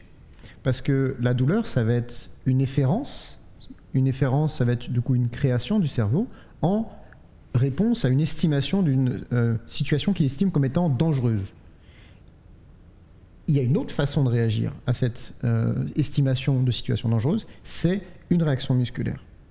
Donc probablement que quand on observe donc de la garde musculaire associée à de la douleur, on est en train d'observer en fait deux réponses du cerveau. À la fois le phénomène douloureux qui est créé pour simplement signaler qu'il estime qu'il y a quelque chose de dangereux dans ce contexte-là, mais aussi une, un phénomène de réaction musculaire, probablement pour limiter les amplitudes. Et euh, je pense à cette étude, euh, je n'ai plus l'année, peut-être que tu l'auras toi Mathieu. Allemagne euh, Ouais, je crois ça. 2015, ils ont, 2018. Ils ont, mis les mecs sous curare là. 2018. où ils ont pris, alors je crois qu'il y avait 8 ou 9 patients. 5. 5 C'était 5 Oui. Et sur les 5 patients, ils avaient tous des limitations actives qui ressemblaient très très fortement à des, à des épaules gelées. Ils les ont donc mis sous curare, donc à savoir qu'ils ont complètement euh, inhibé euh, l'apport du système nerveux dans le système musculosquelettique, qui fait qu'ils ont évalué passivement les mobilités. Donc ils ont endormi les gens et pris les bras. Ils ont bougé les bras. De mémoire, il n'y en a qu'un seul qui avait une limitation qui était conservée en étant totalement endormi. Les, trois, les quatre autres, du coup, avaient des mobilités qui étaient complètes. Au réveil, les limitations étaient revenues. Donc probablement que sur les 5 patients, 4 avaient des limitations qui étaient plutôt en lien avec de la garde musculaire, ce qu'on observe. Et parfois peut-être que ça peut être tellement dense comme, comme réaction qu'on peut prendre ça pour de la raideur, en fait. Et moi j'ai tendance à voir ça, on parlait de spectre. J'ai tendance à... C'est comme ça en tout cas que je me l'explique. Je pense qu'il y a probablement des patients qui peuvent passer par cette phase de garde musculaire, peut-être y rester tellement longtemps qu'au bout d'un moment, le connective tissue dont tu, parlais euh, bah, va changer. Euh, on n'en a pas forcément parlé, mais il y a aussi le système métabolique qui est mis en jeu. On observe des changements métaboliques. Euh, il y a une lipoprotéinémie qui est en, jeu au, niveau du système métabolique du patient, qui peut peut-être faire que bah, la qualité du tissu change et que la garde musculaire limite le mouvement de l'épaule. Avec le temps, de l'adhérence s'installe. Et en fait, on a un patient qui va passer d'une phase de garde musculaire à une phase de raideur vraie. Et personnellement, quand j'ai un patient qui est en étape de garde musculaire, je me dis, il est encore temps peut-être d'éviter de l'adhérence. Et donc c'est là où on peut mettre en place, comme a dit Mathieu, peut-être des approches où on va plutôt euh, euh, jouer, avec le, jouer avec le cerveau. On leurre le cerveau. On va leurrer le cerveau. On mess, mess with the brain. On va vraiment essayer de le, de, de le, de le tromper. Alors avec, il y a plein d'approches, il, il, en a cité certaines, et je pense que c'est là où, quand on a quelqu'un qui est en étape de garde musculaire, ces approches-là ont tout à fait leur sens. Alors pour rebondir là-dessus, ça c'est absolument fabuleux cette histoire de garde musculaire parce que ça ouvre des, euh, possibles. Par contre, euh, les questions qui restent en suspens pour moi, hein, euh, je suis peut-être pas suffisamment informé, mais là-dessus, c'est quel est le pourcentage de patients qui sont atteints? Parce que là, on a dit qu'il y avait 4 patients sur 5, c'est quand même un sous-groupe de patients qui n'a pas récupéré ce qui était dedans. Donc c'est un sous-groupe particulier. Donc on sait pas, euh, on ne connaît pas la, proportion de patients. Euh, de fait, euh, on n'a pas de gold standard pour l'évaluer, c'est-à-dire on n'a pas de test qui permet de nous dire à coup sûr c'est ça. Si, il y aura un test, c'est les curariser tous. Éthiquement en France, on ne peut pas faire ça. Il y a des gens qui meurent, tout ça, c'est un peu. Bref, en tout cas, un, jour ce sera peut-être possible. Et, donc la, démarche et le possible, c'est déjà identifier le pourcentage, trouver un test qui permette de l'identifier, puis ensuite évaluer une technique. Moi, sur ma pratique, depuis que je sais ça, j'ai quand même remarqué euh, ce qui m'a au début fait mal et au final qui était rassurant, qui est de dire dans mes profils de patient épaule gelée, il y en avait où j'étais super fort, je me dis, ouais, celui-là, paf, comment je te l'ai fait récupérer? Et en fait, bah, c'était une garde musculaire, il n'y avait pas de rétraction capsulaire. Et inversement, il y en a qui traînent, c'est peut-être une autre étiologie. Le challenge pour moi aujourd'hui, c'est d'essayer de trouver ces patients-là. Et ces techniques, notamment la thérapie miroir, moi je trouve qu'elle est très intéressante parce qu'elle me sert au moins à répondre à une question. Si en deux semaines mon patient récupère 50 degrés, il n'y a pas de rétraction capsulaire. Donc c'est plutôt une épaule gelée de type garde. Et là, je vais foncer sur l'actif, leurrer le cerveau, mm. euh, sur ces choses-là pour essayer de gagner du temps. Mais c'est extrêmement, enfin vous pouvez le sentir, c'est une thématique extrêmement stimulante et on est euh, justement à l'aube de quelque chose de plus grand dans le contexte de garde musculaire, ce qui marche bien, ce qu'on disait tout à l'heure, hein, c'est le, placé tenu, ça mm. marche de manière assez spectaculaire. Mm. Dans une rétraction capsulaire, il va falloir des techniques un peu plus euh, mm. euh, invasives, thérapie manuelle, mouvement, un petit peu de glissement, hein, ce que tu évoquais dans, la formation, bien sûr, avec des manœuvres un peu plus, euh, pour le coup, passives. Et surtout, l'amélioration de la garde musculaire, ce qui est caractéristique, c'est que ça progresse vite, assez vite. La prochaine question, je remercie votre collègue, le spécialiste qui a écrit cette euh, question. Je suppose qu'il voulait que je sorte de, la route, alors je vais essayer de, rester concentré, de ne pas euh, mâcher les, mots jusqu'au bout. Il y a des signes typiques. Coracoïde, pain test, fuite de la scapula en antéflexion, je vous remercie encore. RL sur limitation des amplitudes de la GH, perte de l'ARL. Ça fait beaucoup d'informations. Mmh. Comment on peut euh, synthétiser et, réexpliquer ces, notions-là bah, Globalement, je mmh. pense qu'en fait, à, part euh, le, la douleur au niveau de la, enfin, la provocation de la douleur sur la coracoïde, tout a déjà été dit en fait. Hein. Globalement, là, ce, qu'en fait, ce, ce, que notre confrère est, en train de dire, c'est qu'il y a des limitations en rotation latérale dans mmh. globalement toutes les amplitudes. Mmh. Euh, je ne crois pas qu'on ait trop parlé du monde scapula, mais c'est ce qui est évoqué aussi. À part le truc sur la coracoïde, peut-être tu veux en parler? Alors, euh, je ne vais pas parler du truc sur la coracoïdie, je vais plutôt bien préciser, euh, parce que ce qui peut être désarçonnant, c'est que parfois les gens s'imaginent qu'on peut poser le diagnostic avec certitude et facilement. Ça n'est pas le cas. Ça n'est pas le cas. Euh, ça prend du temps. Et la plupart des patients qui développent une épaule gelée, effectivement, vont perdre une rotation externe, mais ça n'est pas la seule cause de perte de rotation externe. D'abord, il faut exclure d'autres problèmes, euh, plus d'exclusion. Effectivement, on va avoir des douleurs à la palpation. Euh, et pour ce qui est des dyskinésies, c'est-à-dire des changements de position de la scapula, bah, en général, quand vous avez un problème à l'épaule, il y a probablement une dyskinésie c'est très difficile de dire si c'est la cause ou la conséquence du problème. Donc euh, il faut garder à l'esprit qu'il y a une incertitude sur cette pathologie, et donc si on est un peu en galère pour diagnostiquer, euh, c'est que c'est normal et que tout va bien. Il n'y a pas de signe qui soit totalement spécifique, exclusif non. des poids gelés. inclusif, tu veux dire Oui, inclusif. Et il n'y a, pas de, il a pas de clusterisation. non, non, on aimerait bien, mais non, il n'y a pas. Mais c'est pas grave. Comme La ça. prochaine- Si, on, si on galère à délostiquer, c'est que c'est peut-être une épaule gelée. Voilà, il y a ça aussi. ça. Exactement. La prochaine question, c'est une observation et je vais vous Oui. faire euh, rebondir dessus. L'infiltration est indiquée en première intention pour les tendinopathies rompues ou non, calcifiantes ou non, jeunes ou âgées, selon les recommandations HAS et la masse de littérature. Alors, euh, je vais essayer d'être un peu consensuel. Euh, euh, moi, j'aimerais bien connaître la recommandation HAS qui est citée ici, parce que euh, j'ai pas cette, euh, ces connaissances-là. Euh, moi, là où j'en étais resté, et peut-être mes collègues pourront rebondir, c'est que en fait, les infiltrations n'ont pas de justification, parce que le but des infiltrations, c'est de réduire l'inflammation au départ. Et dans- on sait aujourd'hui que dans les tendinopathies, c'est pas très clair qu'il y ait une inflammation Hmm. classique, une inflammation un peu différente. Donc du coup, euh, il n'y a pas de- de- de- d'enjeu. Alors parfois, on peut infiltrer parce qu'on veut être antalgique, mais dans des conditions très précises, en cas d'échec de la rééducation, sur des épaules assez rompues, très avancées, chez qui éventuellement on ne peut pas opérer. Ça peut être une solution. Moi, c'est les connaissances que j'ai. Euh, après, euh, l'idée quand même, c'est de se dire, euh, le traitement, c'est avant tout la physiothérapie, la rééducation. Physiothérapie, excusez-moi, au sens définition mondiale, c'est-à-dire la rééducation. C'est ça, c'est ça la recommandation majeure. Et puis derrière, euh, les infiltrations, euh, on essaie, enfin globalement, euh, bah, les chirurgiens, les radiologues essaient de moins en moins infiltrer. Et j'ai pas connaissance de ces recommandations. Après, elles sont peut-être parues. j'ai pas regardé peut-être depuis. Pour réagir, l'infiltration n'a jamais été une solution thérapeutique, c'est une aide thérapeutique. Donc c'est, dans certains cas, ça peut apporter des solutions, mais à mon sens, ça doit être quand la thérapeutique est en échec.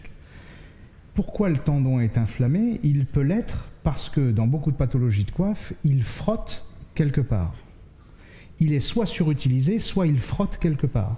Tant qu'on n'a pas enlevé le facteur qui, lui crée le frottement, mécaniquement, eh bien on a un risque de récidive. Donc euh, traiter l'inflammation de quelque chose qui est en frottement, sans traiter la cause du frottement, c'est laisser la chance au tendon de à nouveau s'inflammer.